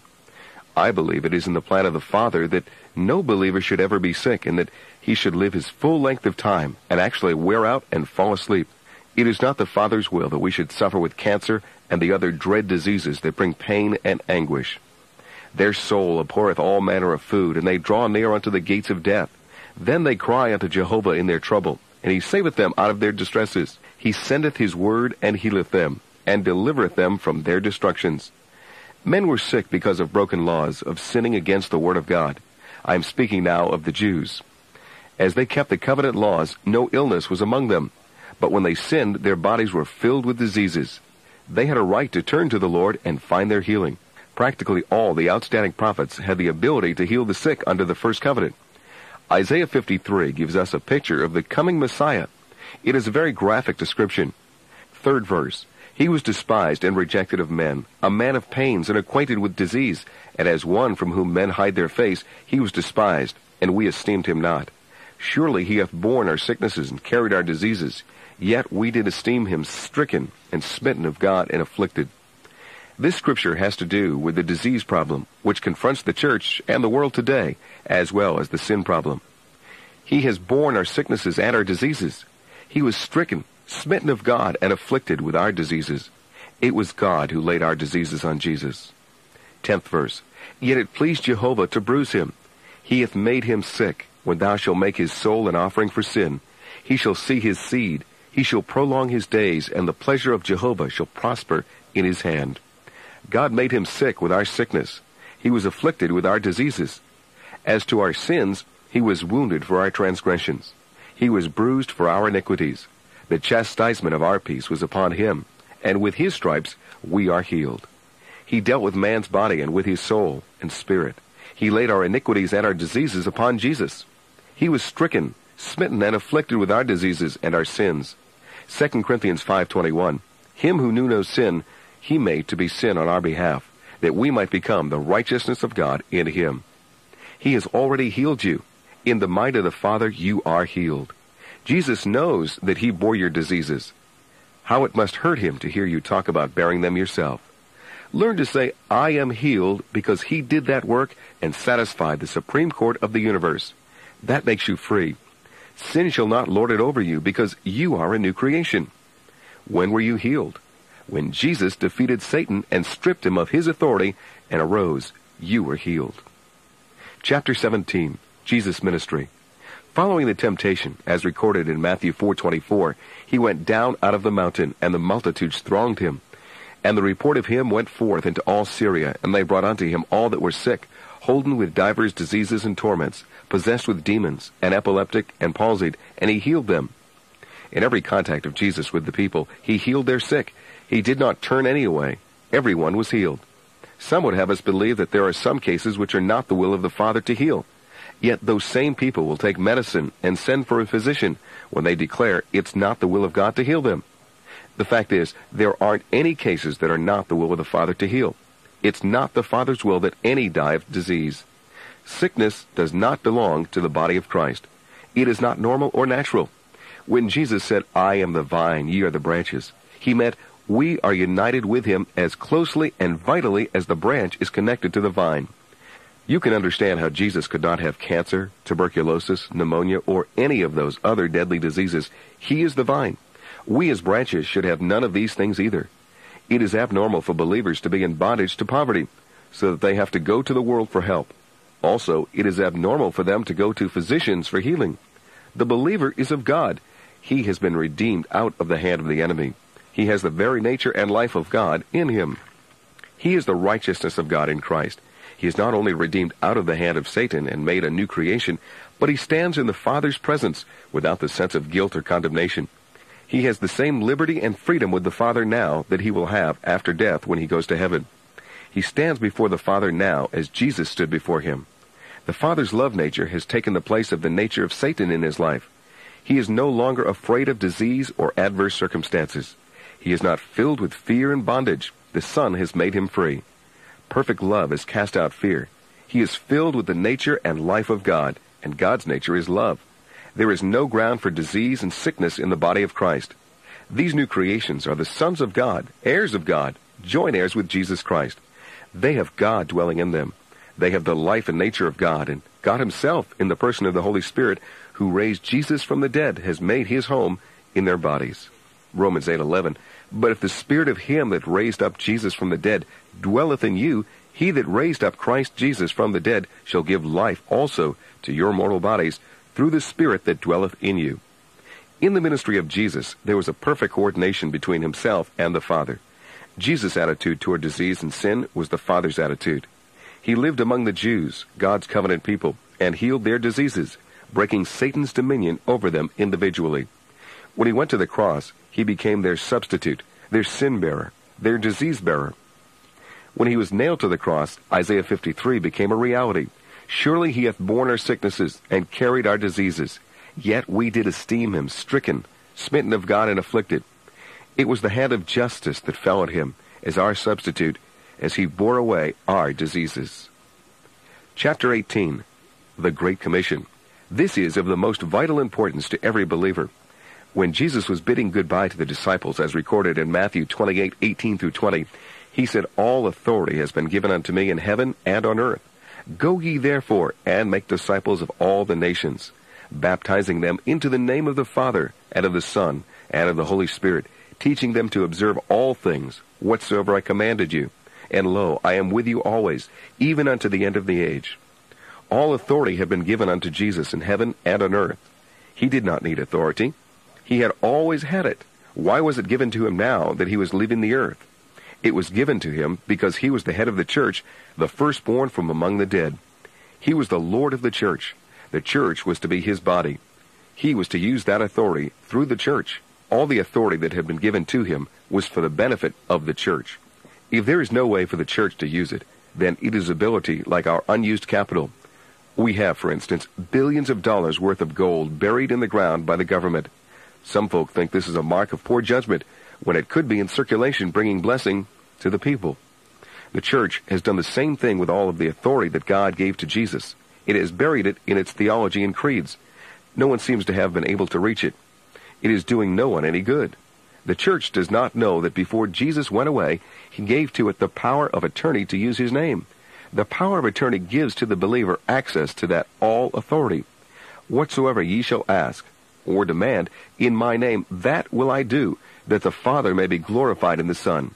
If ye shall ask anything in my name, that will I do. This is not prayer. It is the use of the name of Jesus to draw on this all authority. The book of Acts gives case after case where men tapped that all authority. Men were blessed by it. That all authority is still available to those who use the name of Jesus. That authority has never been withdrawn. If one part of that great commission has been abrogated, then all of it has been set aside. If one miracle has been set aside, then all miracles have been set aside, and the name of Jesus has no authority. But we know that his name was given to us for miracle work. Mark 16, Jesus said, In my name shall they cast out demons. They shall speak with new tongues. They shall take up serpents. And if they drink any deadly thing, it shall in no wise hurt them. They shall lay hands on the sick, and they shall recover. Every one of these five things are things that the adversary brings upon the church of God and the unsaved world. Five miraculous manifestations are to take place. Satan holds men in bondage, fills them with fear of poison. Satan has robbed them of their testimony so they no longer speak in new tongues of deliverance and victory. They have been robbed of the ability to lay hands on the sick and see their loved ones recover. Why? Because sense knowledge has gained the mastery over the ministry. Jesus said that as soon as men believed on him, at once these signs should accompany them. At once they began to cast out demons. At once they began to speak with tongues of power. At once they master disease. Serpents are typical of disease and demons. So then, the Lord Jesus, after he had spoken unto them, was received up into heaven, and sat down at the right hand of God. And they went forth and preached everywhere, the Lord working with them and confirming the word by the signs that followed. The word that he had spoken and the word they dared to confess was confirmed by signs that followed. God's attitude toward sin and disease has never changed. Hebrews 13:8 Jesus Christ is the same yesterday, today, and forever. He was opposed to disease then, he is opposed to disease now. He suffered on account of sin, and his attitude toward sin now is as it was then. The seated Christ is a receipt in full for your healing. The seated Christ proves that he finished his work. Always think of Satan as the defeated one, as the one over whom you, in Jesus' name, have dominion. In that name, the new creation is the master of demons and disease, and every circumstance that would hold you in bondage. We have a perfect redemption, a perfect new creation, and a perfect union with Christ. I am the vine, ye are the branches. We have a message that brings success, health, happiness, and victory to every man. Every man is a failure outside of Christ. We hold God's solution to the human problem. The living word in your lips makes you a victor, makes disease and poverty your servants. The living word in your lips brings God on the scene, brings victory and joy and success to the defeated. Chapter 19 God's revelation of Jesus Christ given to the Apostle Paul. In this revelation, we see the supernatural element of Christianity in a light that the modern church has never seen. Paul's revelation begins with Jesus being made sin. It deals with what he did and what was done to him during the three days and three nights until he finally rose from the dead, carried his blood into the heavenly holy of holies, and sat down at the right hand of the Father. That period covers the forty days from his crucifixion to his seating at the right hand of the Majesty on high. It deals with three major facts. What God did for us in Christ in the great substitution, what the Holy Spirit through the Word can do in us in the new creation, and what Jesus is doing for us now at the right hand of the Father. We can deal with only two phases of this work of Christ. What he did for us. It is deeply important that the reader fully grasp these basic facts. Christ did not arise from the dead until he had broken Satan's dominion. It was imperative that Satan's dominion over man be broken. Christ did not arise from the dead until he had conquered the adversary. Colossians 1:13 and 14, who delivered us out of the authority of darkness and translated us into the kingdom of the Son of his love, in whom we have our redemption, the remission of our sins. He delivered us out of Satan's authority. The word here translated power means authority. He translated us into the kingdom of the Son of his love. That is the new birth. That is recreation. We have our redemption. every believer has been delivered out of Satan's authority and has been translated into the family of God and has his redemption in Christ. He is redeemed. Satan has no more dominion over him. Romans 6:14 from the Centenary translation says, "For sin shall not lord it over you." Sin is Satan. Satan shall not lord it over you. Satan has no more dominion over the believer than Pharaoh had over the children of Israel after they had crossed the Red Sea. Satan has no dominion over you. Satan cannot put disease upon you without your consent. It may be a consent of ignorance, but it is a consent. Satan is defeated, conquered, as far as you are concerned. Satan is not only conquered, but God has made you a new creation over whom Satan has no dominion whatsoever. 2 Corinthians 5, 17 and 18. Wherefore, if any man is in Christ, he is a new creation. The old things are passed away. Behold, they are become new. But all these things are of God, who reconciled us to himself through Christ, and gave unto us the ministry of reconciliation. Those old things are the things of defeat, failure, weakness, poverty, sin, and spiritual death. We are new creations. Jesus is the head of this new creation. He is the Lord of this new creation. He has taken Satan's place. Satan no longer has dominion over you. You need have no fear of him, for he has been conquered. Romans 8:31 through 38. The Spirit through the Apostle Paul gives us the position of the church. He climaxes it in the 38th verse. Nay, in all these things we are more than conquerors. We have a complete and perfect redemption. This new creation has not only been declared righteous and made righteous, but both God and Jesus declare that they are His righteousness.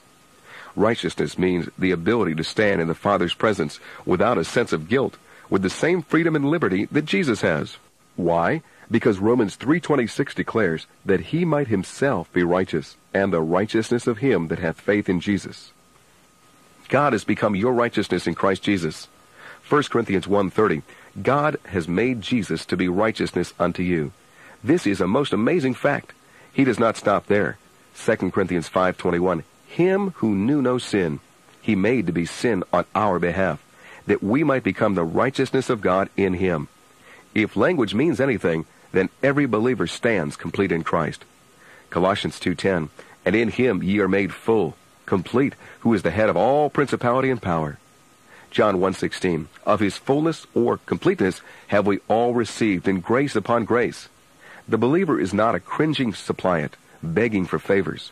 He is a son of God, an heir of God, a prince of God. He stands in the Father's presence, unabashed, unafraid, made righteous with God's own righteousness, made free with God's own freedom. The Son has made you free. You are free in reality.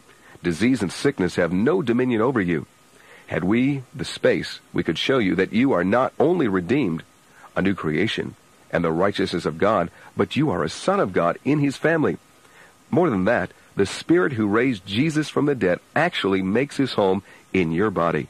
You may never have given him his place, or you may never have been conscious that God made his home in you, or that you had the ability of God in you you may have never taken advantage of the fact that your mind might be renewed to the extent that you might know the will of God in reality. Not only do you have God in you, but you have the name of Jesus with the authority that God gave to Jesus in it. In that name, you can lay hands on yourself if pain comes and receive your deliverance. In that name, you can break the power of the adversary over your finances, over your home, over your loved ones' bodies limitless power and authority are given to the individual member of the body of Christ. Some of the hindrances to healing. Perhaps the most subtle and dangerous weapons of the devil are the sense of unworthiness and the sense of lack of faith. Your worthiness is Jesus Christ, the righteous. You are the righteousness of God in him. The sense of unworthiness is a denial of the substitutionary sacrifice of Christ and of your standing in Christ and of Christ's righteousness before the Father which has been granted to you. A second hindrance is that you have accepted hope and mental assent instead of faith. You never hope for a thing that you possess. You hope for the unpossessed. When you hope for your healing, it means that you have no faith in it, but you expect to get it sometime. Hope is a beautiful delusion. Mental assent is a kindred of hope. Mental assent is the substitute that the adversary has given to the church today for faith. Many declare that the whole Bible is true from Genesis to Revelation, but they do not accept miracles except in isolated cases. They assent to the truth of the word, but they do not believe it. They say, Yes, I believe the Bible is true, and never act on it. Believing is acting on the Word of God. There is no faith without action. James says in Weymouth's translation that there must be corresponding actions with our faith. Faith without actions that correspond is dead. There can be no faith without action on the Word. I can assent to it and remain as I am. I can admire it, but it is not mine. The thing that the Scripture declares belongs to me, as soon as I found out the difference between mental assent and faith, I became a blessing to multitudes. Many have been healed over the radio when they stopped mentally assenting and acted on the Word. Another enemy of faith is sense knowledge evidence. A man believes what he can see. He is like Thomas who said, I will not believe unless I can put my hand into his side. Jesus suddenly appeared and said, Reach hither thy hand, and put it into my side, and be not faithless, but believing. Faith is giving substance to things you have hoped for. It is a conviction of the reality of things that are not seen. Faith is changing hope into reality. Faith is acting in the face of contrary evidence. The senses declare, it cannot be. But faith shouts above the turmoil, it is. Faith counts the thing done before God has acted. That compels God's action. God is a faith God. Hebrews 11:3 The worlds were created by the word of God, so that the things that are seen were not made out of things which do appear. All God did at the beginning was to say, "Let there be," and there was. All that faith has to say is, "Let there be perfect quietness in this man's body and spirit, and disease must go." Faith says, Let there be plenty where poverty has reigned. Let there be freedom where bondage has held sway. These things must come to pass. Chapter 20 Healing Belongs to Us. I have prayed and prayed and have received no benefit. I have had others pray for me, and my disease grows worse and worse. Can you do anything for me? Yes, I believe I can. Did you ever realize that healing belongs to you? That you need not pray for it? I never heard anything like that. It is true. Let me prove it to you. Isaiah 53 4. Surely he hath borne our sicknesses and carried our diseases. Yet we did esteem him, stricken, smitten of God, and afflicted. What does he say he did with our diseases? I don't know as I understand it. Surely, that is Christ, hath borne our sicknesses and carried our diseases. Yet we did esteem him, stricken, smitten of God, and afflicted. You understand that, don't you? Yes. Do you understand that it pleased Jehovah to bruise him? He made him sick with our diseases. What does that mean to me? It means that these pains and afflictions you're suffering were laid on Jesus. Jesus actually bore them, just as he bore your sins. He was wounded for your transgressions. He was bruised for your iniquities. The chastisement of your peace was upon him, and with his stripes you are healed. God actually laid your iniquities upon Jesus. Then you do not have to bear them. I never saw it like that before. You mean God actually laid my sickness upon him and made him sick with my diseases? Yes, that is what the word declares. He made him sin with your sins that you might be the righteousness of God in Christ. 2 Corinthians 5:21. He made him sick with your diseases that you might be perfectly well in Christ. It is a gift. Healing is yours now as you thank him for it. God put your diseases on him. He bore them. He was stricken, smitten of God, and afflicted with your diseases. Satan has no right to put on you what God put on Jesus. When your heart comes to know this, as you know other facts of life, you are through with sickness. You cannot be sick when you come to know this fact. Know it as you know that God laid upon him the iniquity of us all. Romans 6:14 For sin shall not lord it over you, is yours today. I like that translation. Sickness and pain are things of the past for whom the Son sets free is free in reality. If he has set you free from sin, sin has no dominion over you. If he has set you free from disease, it must not lord it over you. If he has set you free from Satan, Satan has no dominion over you. If he has set you free from circumstances, circumstances cannot lord it over you any longer. How they have held sway over us in the past. Now we belong to a new order of things. We are the masters of circumstances, of demons, of diseases. Sin and demons have no dominion over us. The Son has set us free. In God's sight, we are free. In Jesus' sight, we are free. According to the Word, we are free. Stand fast in the liberty wherewith Christ has made you free. Hold fast to this confession. Make it your very own. Take your place. Act the part. Refuse to allow Satan to have anything to do with this body in which you live. Know ye not that your body is the temple, the home, the house of God, 1 Corinthians 6, 15 through 20. It is God's place. You are the overseer living in it. You are to see that Satan does not trespass on God's property. How am I to keep him from it? Jesus said, In my name ye shall cast out demons. Jesus has given you the right to use his name. That name can break the power of disease, the power of the adversary. That name can stop disease and failure from reigning over you. There is no disease that has ever come to man which this name cannot destroy. Our confession is our faith speaking. Jesus and his name are one. That name and Jesus are one, just as your name is one with you. You do not have to make this liberty yours. All you have to do is to enjoy it and walk in the light of the Word. Make these facts your confession. You are to tell the world that by His stripes you are healed, that disease has lost its dominion, that it can no longer lord it over you. If we speak words of faith instead of words of doubt, we will be speaking God's language. Doubt words come from another source. You cannot talk sickness and disease and walk in health. You cannot tell folk about your disease and about your pains and moan over your troubles to get sympathy without losing your fellowship with Him. When we tell our troubles to people, we lose our faith and sweet fellowship with the Father. We tell people our troubles to get their sympathy. We should cast our anxiety and troubles upon Him, for He cares for us. When we talk about our weakness and failure and disease, we glorify the devil, who gave them to us. We glorify doctors and lawyers by taking our trouble to them. They get paid for listening to people's troubles. That is the secret of their success, being good trouble listeners. Telling our troubles that are caused by Satan is a confession that Satan is the master and that he has gained the supremacy. It makes the troubles bigger. It makes the disease worse. It makes us feel worse. The real confession in our life should be of God's ability, His faithfulness, and that our troubles are being borne by Jesus, just as He bore our diseases and sins. Hold fast to your confession of what God is to you and what you are in Christ. Give up your confession of Satan's supremacy. You know that disease comes from the adversary, that lack of ability comes from the adversary. All our troubles are demon made. If you are using demon inspired words, don't expect to have the sweetest fellowship with heaven. It is the word of faith which we speak. Our lips are filled with the word of faith. Our hearts are singing the song of faith. John 6:47 Verily, verily I say unto you, he that believeth hath eternal life. It is the believer who possesses. I believe I have, then I rejoice in my possession. I enjoy my possession. Health is my possession. Success is my possession. I have plenty because he is my supply. He meets every need of mine according to his riches and glory in Christ Jesus. I am not moaning and groaning.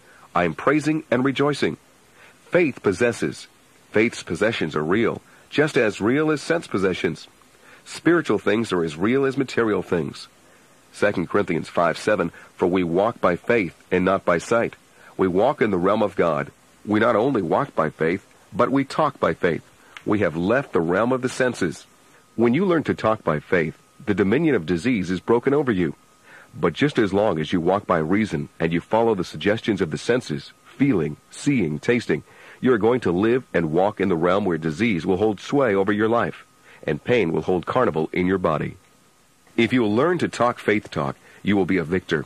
1 John 5, 4, and 5 should be known by every believer. It should be a part of your conscious knowledge that you can use day by day.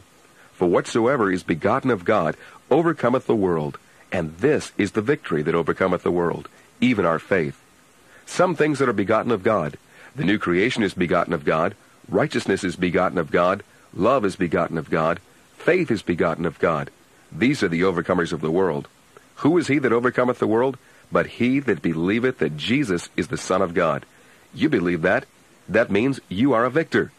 The believers are winners. Leave the lowlands of doubt and fear. Come out onto the highlands and walk in fellowship with him. Healing and victory are yours. Leave failure to the failures.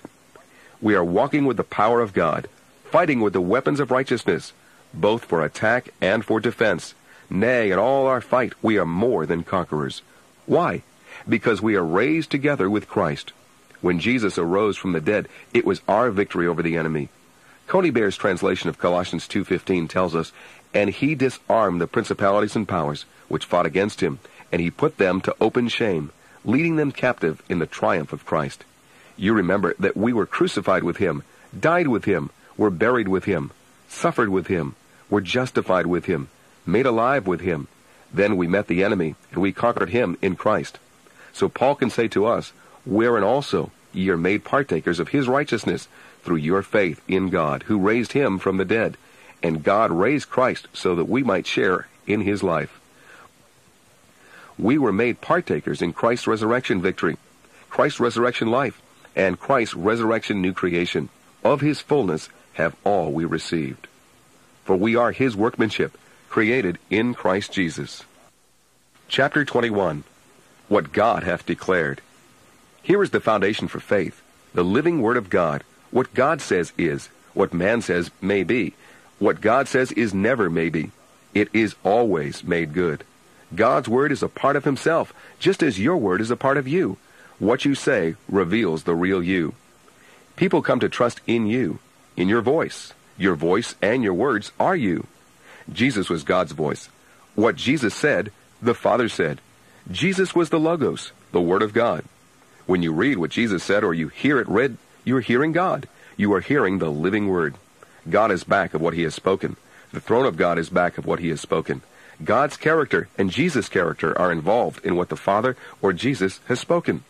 So when He says, Surely He hath borne our sicknesses and carried our diseases, yet we did esteem Him stricken, smitten of God, and afflicted, we know that our diseases were laid on him. When he climaxes that statement with, by his stripes we are healed, we know that we are healed. It is a problem of the integrity of the word. He was wounded for our transgressions. He was bruised for our iniquities. The chastisement of our peace was upon him, and with his stripes we are healed. All we like sheep have gone astray. We have turned every one to his own way, and Jehovah hath laid on him the iniquity of us all. This solves the sin problem. Hebrews 9:26. But now, once at the end of the ages, hath he been manifested to put away sin by the sacrifice of himself. The sin problem is a settled problem because God said it was settled. Disease and sickness problems are settled because God said that he had settled them. He bore the diseases. God said, By his stripes ye were healed. So that ends the discussion. He said the issue was closed. The diseases have been put away. So sickness and disease shall not lord it over you. He said, Wherefore, if any man is in Christ, he is a new creation. The old things are passed away. Behold, they are become new. Disease has no standing with the new creation. That is his declaration. That statement is a part of himself. He says you are a new creation. He says that you are his son, born from above. That which is born of the Spirit is spirit. This is a statement of fact. Sin and disease are one. They cannot dominate the new creation. You are not only his son, but you are a joint heir with Jesus. You are a joint fellowshipper in all that Christ did and is. This shows how near you are to him. I am the vine, ye are the branches. God is a part of what he said. In Christ, you are what he says you are. You are a new creation, created in Christ. There is therefore now no condemnation to them that are in Christ Jesus, to the new creation. What God says is. If you are a new creation, then there is no condemnation for you. If there is no condemnation, disease cannot lord it over you. If you have committed sins and you confess them, he is faithful and righteous to forgive you and to cleanse you from all unrighteousness. You are forgiven. What God says is, you do not need to make this yours. It was written for you. Just act on it. It is like God. It is part of God. If he says he has forgiven you, he has forgiven you. What he has forgiven, he forgets. It's as though it had never been. There is no memory of it. You stand as free as Jesus is in the Father's presence. Our faulty vision caused by sense knowledge has made us see as through a glass darkly. The Word has been obscured. We have not been able to catch God's dream of the reality of it. The reality of it has never dawned upon the church. They have never realized that they were free from the dominion of Satan. Colossians 1:13 and 14 who delivered us out of the authority of darkness and translated us into the kingdom of the Son of his love, in whom we have our redemption, the remission of our sins. We are delivered out of the authority of Satan. We are translated into the kingdom of the Son of his love. We are in the kingdom. We are members of it. We are heirs of God and joint heirs with Jesus Christ. Satan's dominion is ended. We are free, absolutely delivered. What God says is, we are redeemed. Not only do we have a perfect redemption, but we have a perfect remission of our sins. Remission has to do with what we did before we were born again. Forgiveness has to do with what we do after we are born again. Remission is the wiping out of everything connected with our old life. There are no hangovers in the divine life. You are absolutely a new creation. There are no sin scars upon you. You are a new creation created in Christ Jesus. You are the righteousness of God created in Christ Jesus. You are complete in Him. What God has made righteous is righteous. What God has declared righteous is righteous. What Jesus made righteous in his substitutionary sacrifice is just what God says it is, a completed, perfect thing in his sight. When the believer, in the quietness of his own spirit, recognizes the utter integrity of the Word of God, disease and sickness and failure are the things of the past. 1 John 4 4 Ye are of God, my little children, and have overcome them, because greater is he that is in you than he that is in the world. The power and ability of God is in you right now. You stand a victor in every combat. You have no apologies to make for weakness. God is the strength of your life. What God says is. There is no supposition about it. It is an absolute present tense reality. If he says you are more than a conqueror, you are, no matter how mighty the force against you may be. It makes no difference what sense knowledge has told you. You cast down reasonings and give the Word of God its place. You act as though there were not an enemy in the world. When he says, My God shall supply every need of yours, you are not afraid to do anything he tells you to do. The money will be there to meet every obligation. God cannot lie. His word is a part of himself. He and his word are one. He watches over his word to perform it. He is utterly jealous over his word. He watches over it with the utmost care. All you need to do is call his attention to what he has promised, and he will make the promise good. God's word has the ability in it to make good anything he has promised. The Logos of God is a living thing. It produces in the heart of man the very thing he promises he would do. We preach it and teach it because it is the living word today. God says, Whosoever believeth in him shall not be put to shame. The living word. The word is lifeless until faith is breathed into it on our own lips. Then it becomes a supernatural force. You may have entire chapters of the word committed to memory, but they lie dead in your life. As you act on the word, it becomes a living thing. Then as you witness, make your confession of that word it becomes a dominating force in your lips. Jesus' word was the Father's, but he spoke it, he lived it, he acted it. That made it a living thing. He said, The words that I speak are not mine, but my Father's words. The words that I have spoken unto you are spirit and are life. We take Jesus' words and we act upon them. That makes them live. Chapter 22 Why I Lost My Healing I felt perfectly well for several days after you prayed for me. Then all the symptoms came back, and I have been in hell ever since. Can you tell me what is the difficulty? Yes, it is very simple. You received your healing through another's faith. The adversary took advantage of your lack of faith and brought back the symptoms, camouflaged the entire thing, and you were filled with fear instead of faith. Instead of rising resolutely and meeting the adversary with the word and commanding his power broken in Jesus' name, you yielded. Why did you yield? because you had no foundation in your life. You were like the man who built his house upon the sand. The storm came and destroyed it. The thing for you to do is to get to know the Lord yourself through the Word. When you know that by His stripes you are healed, and you know it as you know that two and two are four, the adversary will have no power over you. When you know the power and authority of the name of Jesus, and that you have a legal right to use it, and the adversary lays siege to you, you'll not be filled with fear. You'll simply laugh at him and say, Satan, you know you are whipped. Leave my body. He will leave. No one can maintain his healing, which has come as a result of another's faith, unless his faith is developed through the Word, so he can maintain his own rights in the redemption of Christ. Chapter 23 God's method of healing is spiritual. You must have seen as you have studied this book that healing is spiritual.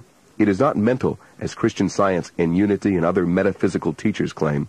Neither is it physical, as the medical world teaches. When God heals, he heals through the Spirit. When man heals, he must either do it through the mind that is governed by the physical senses, or he does it through the physical body. You understand that man is a spirit being, and that life's greatest forces are spiritual. We have witnessed a great nation, after months of fearful warfare, conquer one of the smallest nations in the world. They conquered them physically. They are not conquered mentally yet. That will take brutal force. They are not conquered spiritually. They never will be. We can understand that the great forces in life are spiritual forces. love and hate, fear and faith, joy and grief are all of the Spirit. It is a remarkable thing that when Jesus comes on the scene as a healer, he demands faith. He declares, Thy faith hath made thee whole. All things are possible to him that believeth. We might multiply these statements. All of them prove one thing, that all of Jesus' healings were spiritual. He demanded faith, and faith is born of the Spirit. In our own ministry, where we have seen multitudes of people healed of many kinds of incurable diseases, they have been healed invariably by the Word of God.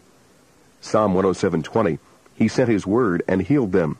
Sin had brought the disease upon them, but the word delivered them. The word is the healer today. Man gets his healing by acting upon the word. That action is called faith. We have found that healing belongs to the believer. Chapter 24 Right and Wrong Confessions. For a long time, I was confused over the fact that in my own life and the lives of others, there was a continual sense of defeat and failure. I prayed for the sick. I knew that the Bible was true, and I searched diligently to find the leakage. One day I saw Hebrews 4:14 that we are to hold fast our confession, profession in the authorized version. In the third chapter of Hebrews, I discovered that Christianity is called the Great Confession. I asked myself, what confession am I to hold fast? I am to hold fast to my confession of the absolute integrity of the Bible. I am to hold fast to the confession of the redemptive work of Christ. I am to hold fast to my confession of the new creation, of receiving the life and nature of God. I am to hold fast to the confession that God is the strength of my life. I am to hold fast to the confession that surely he hath borne my sicknesses and carried my diseases, and that by his stripes I am healed. I found it very difficult to hold fast to the confession of perfect healing when I had pain in my body. I made the discovery that I had been making two confessions. I had been confessing the absolute truthfulness of the Word of God, and at the same time, I was making a confession that I was not healed. If you had said, Do you believe that by his stripes you are healed? I would have said, Yes, sir, I do. But in the next breath, I would have said, But the pain is still there. The second confession nullified the first. In reality, I had two confessions. First, a confession of my perfect healing and redemption in Christ, and second, that the redemption and healing was not a fact.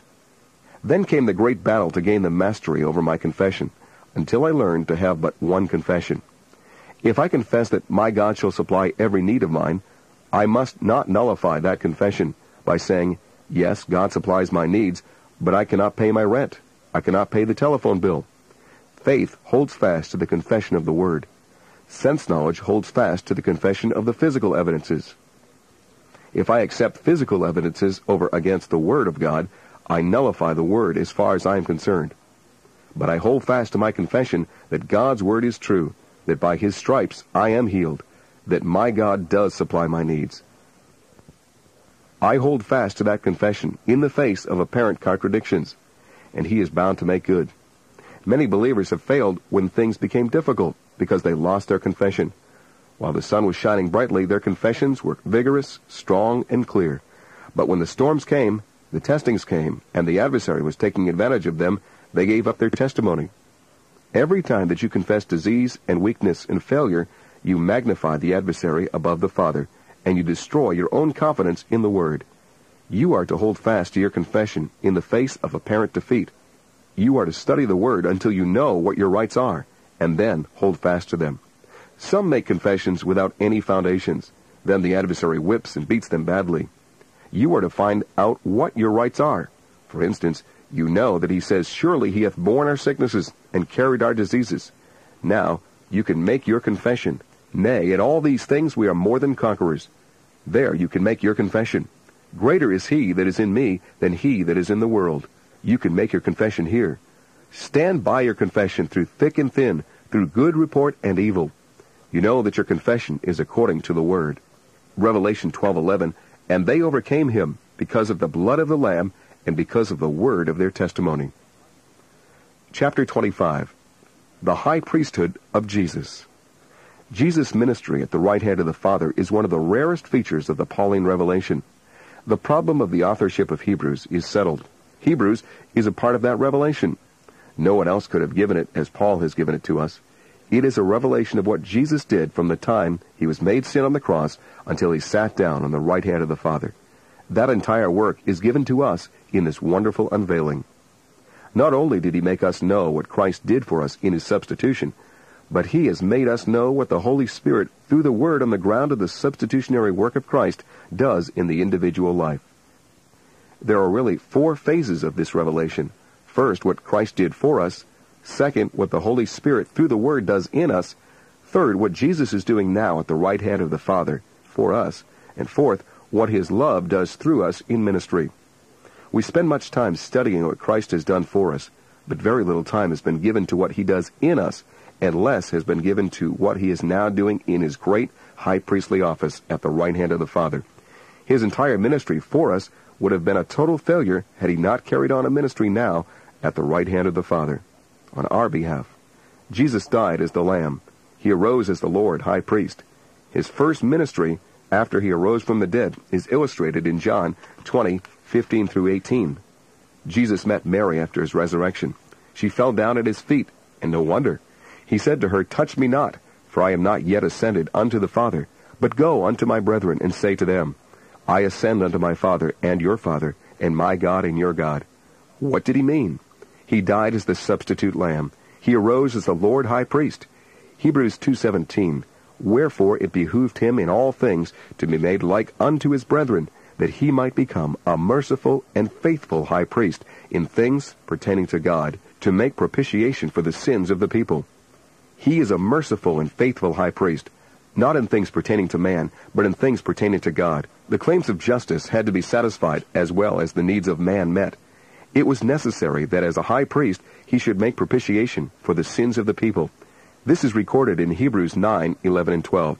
But Christ, having come, a high priest of the good things to come, through the greater and more perfect tabernacle, not made with hands, that is to say, not of this creation, nor yet with the blood of goats and calves, but with his own blood entered in once for all into the holy place, having obtained eternal redemption. Christ having come, from whence did he come? Out of the place where he had gone as a substitute, when he had met the claims of justice, where he had satisfied the claims of the Supreme Court of the universe against rebellious humanity. He had to carry his blood into the heavenly Holy of Holies and seal the document of our redemption with it. His blood is the guarantor now of the integrity of our redemption. Just as the high priest under the first covenant carried the blood into the Holy of Holies once a year and made a yearly atonement, Jesus carried his own blood and made an eternal redemption once for all. Atonement simply means to cover the sin of Israel while the sins were borne away by the scapegoat. The sin nature in man that had caused him to break the law, not the act, but the cause of the act, was antagonistic against God and had to be covered. Now Jesus came and put that nature away by the sacrifice of himself.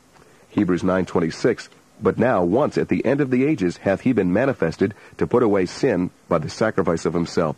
It was not the sins that man had committed, it was man's sin nature that had to be put away. That sin nature was spiritual death, the nature of Satan. His sins were small things that could be wiped out, but the sin nature required God's own beloved Son to become sin, that we might become the righteousness of God in him. He took our sin, that we might become righteous. He took our spiritual death, that we might have eternal life. He took our ostracism, our outlawed nature, that we might take the place of sons with the Father. Oh, the unmeasured grace of God unveiled in the sacrifice of Jesus.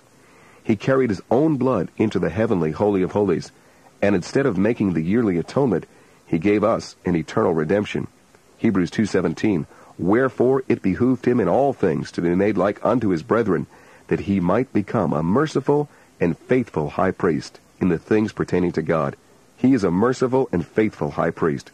God had to be satisfied. The claims of justice had to be met.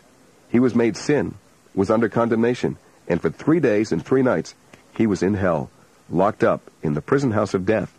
The Supreme Court was able to absolutely justify him as our substitute and declare him utterly righteous. He met the demands of justice and was liberated. God said of him, This day have I begotten thee. What day was it? He was begotten. It was the third day down in the prison house of death that he was born again of the Spirit. That was his new birth. That was when we were recreated, for we are his workmanship, created in Christ Jesus. He was there justified in spirit. Not only was he declared righteous, but he was made righteous with the very nature of God. Now, having been made righteous, having conquered Satan, stripped him of his authority, he arose from the dead, and the Supreme Court of the universe absolutely puts the stamp of approval on his work for us. Then he was able to go into the heavenly Holy of Holies and sit down at the right hand of the Majesty on high. He has made propitiation for our sins. That word propitiation means substitution. He has made substitution for the sins of the people. Having himself suffered being tempted, he is able to succor those that are tempted. Hebrews 3.1 Wherefore, holy brethren, partakers of a heavenly calling, consider the apostle and high priest of our confession. Christianity is called a confession. The finished work of Jesus Christ is called a confession. Now you can understand Romans 10, 9, and 10, because if thou shalt confess with thy mouth Jesus as Lord, Christianity is a confession. It is a confession of the finished work of Jesus. It is a confession that he is seated at the right hand of the Father, having perfectly redeemed us. It is a confession of our sonship, of our place in Christ, of our rights and privileges. It is a confession of our supremacy over disease and weakness, over Satan in the name of Jesus. What a confession that is. Hebrews 4:14 through 16 carries us a step farther in the development of this high priestly ministry of Jesus. Having then a great high priest who hath passed through the heavens, Jesus the Son of God, let us hold fast our confession. For we have not a high priest that cannot be touched with the feeling of our infirmities, but one that hath been in all points tempted like as we are, yet without sin. Let us therefore draw near with boldness unto the throne of grace, that we may receive mercy, and may find grace to help us in time of need. The entire ministry of Jesus swings about this high priestly office. As a high priest, he carried his blood into the Holy of Holies. As a high priest, he sat down at the right hand of the Majesty on high. He is the mediatorial high priest between God and man. No man can reach the Father but through him. Jesus said, I am the way, the reality, and the life. No man can get to the Father but by me. Peter said, Acts 4:12, In none other is there salvation, for neither is there any other name under heaven that is given among men whereby we must be saved. Jesus is the only way into the Father's presence without condemnation. Is it any wonder that the early church was called the Way? Acts 9:2 and asked of him letters to Damascus unto the synagogues, that if he found any that were of the way, whether man or woman, he might bring them bound to Jerusalem. Acts 19:9.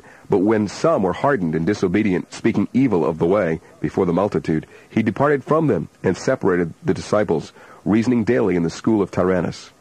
Acts 19:23. And about that time there arose no small stir concerning the way. Also Acts 24:14 and 22, Acts 16:17, Isaiah 30 verse 21, and Isaiah 35 verse 8. He is not only the Lord High Priest, the mediator, but the moment a man accepts Christ, he becomes his high priestly intercessor. He ever lives to make intercession for the believer. Isaiah 53:12, Romans 8:34, and Hebrews 7:25. He is set forth as the intercessor for the believer. He ever lives to make intercession. What a ministry.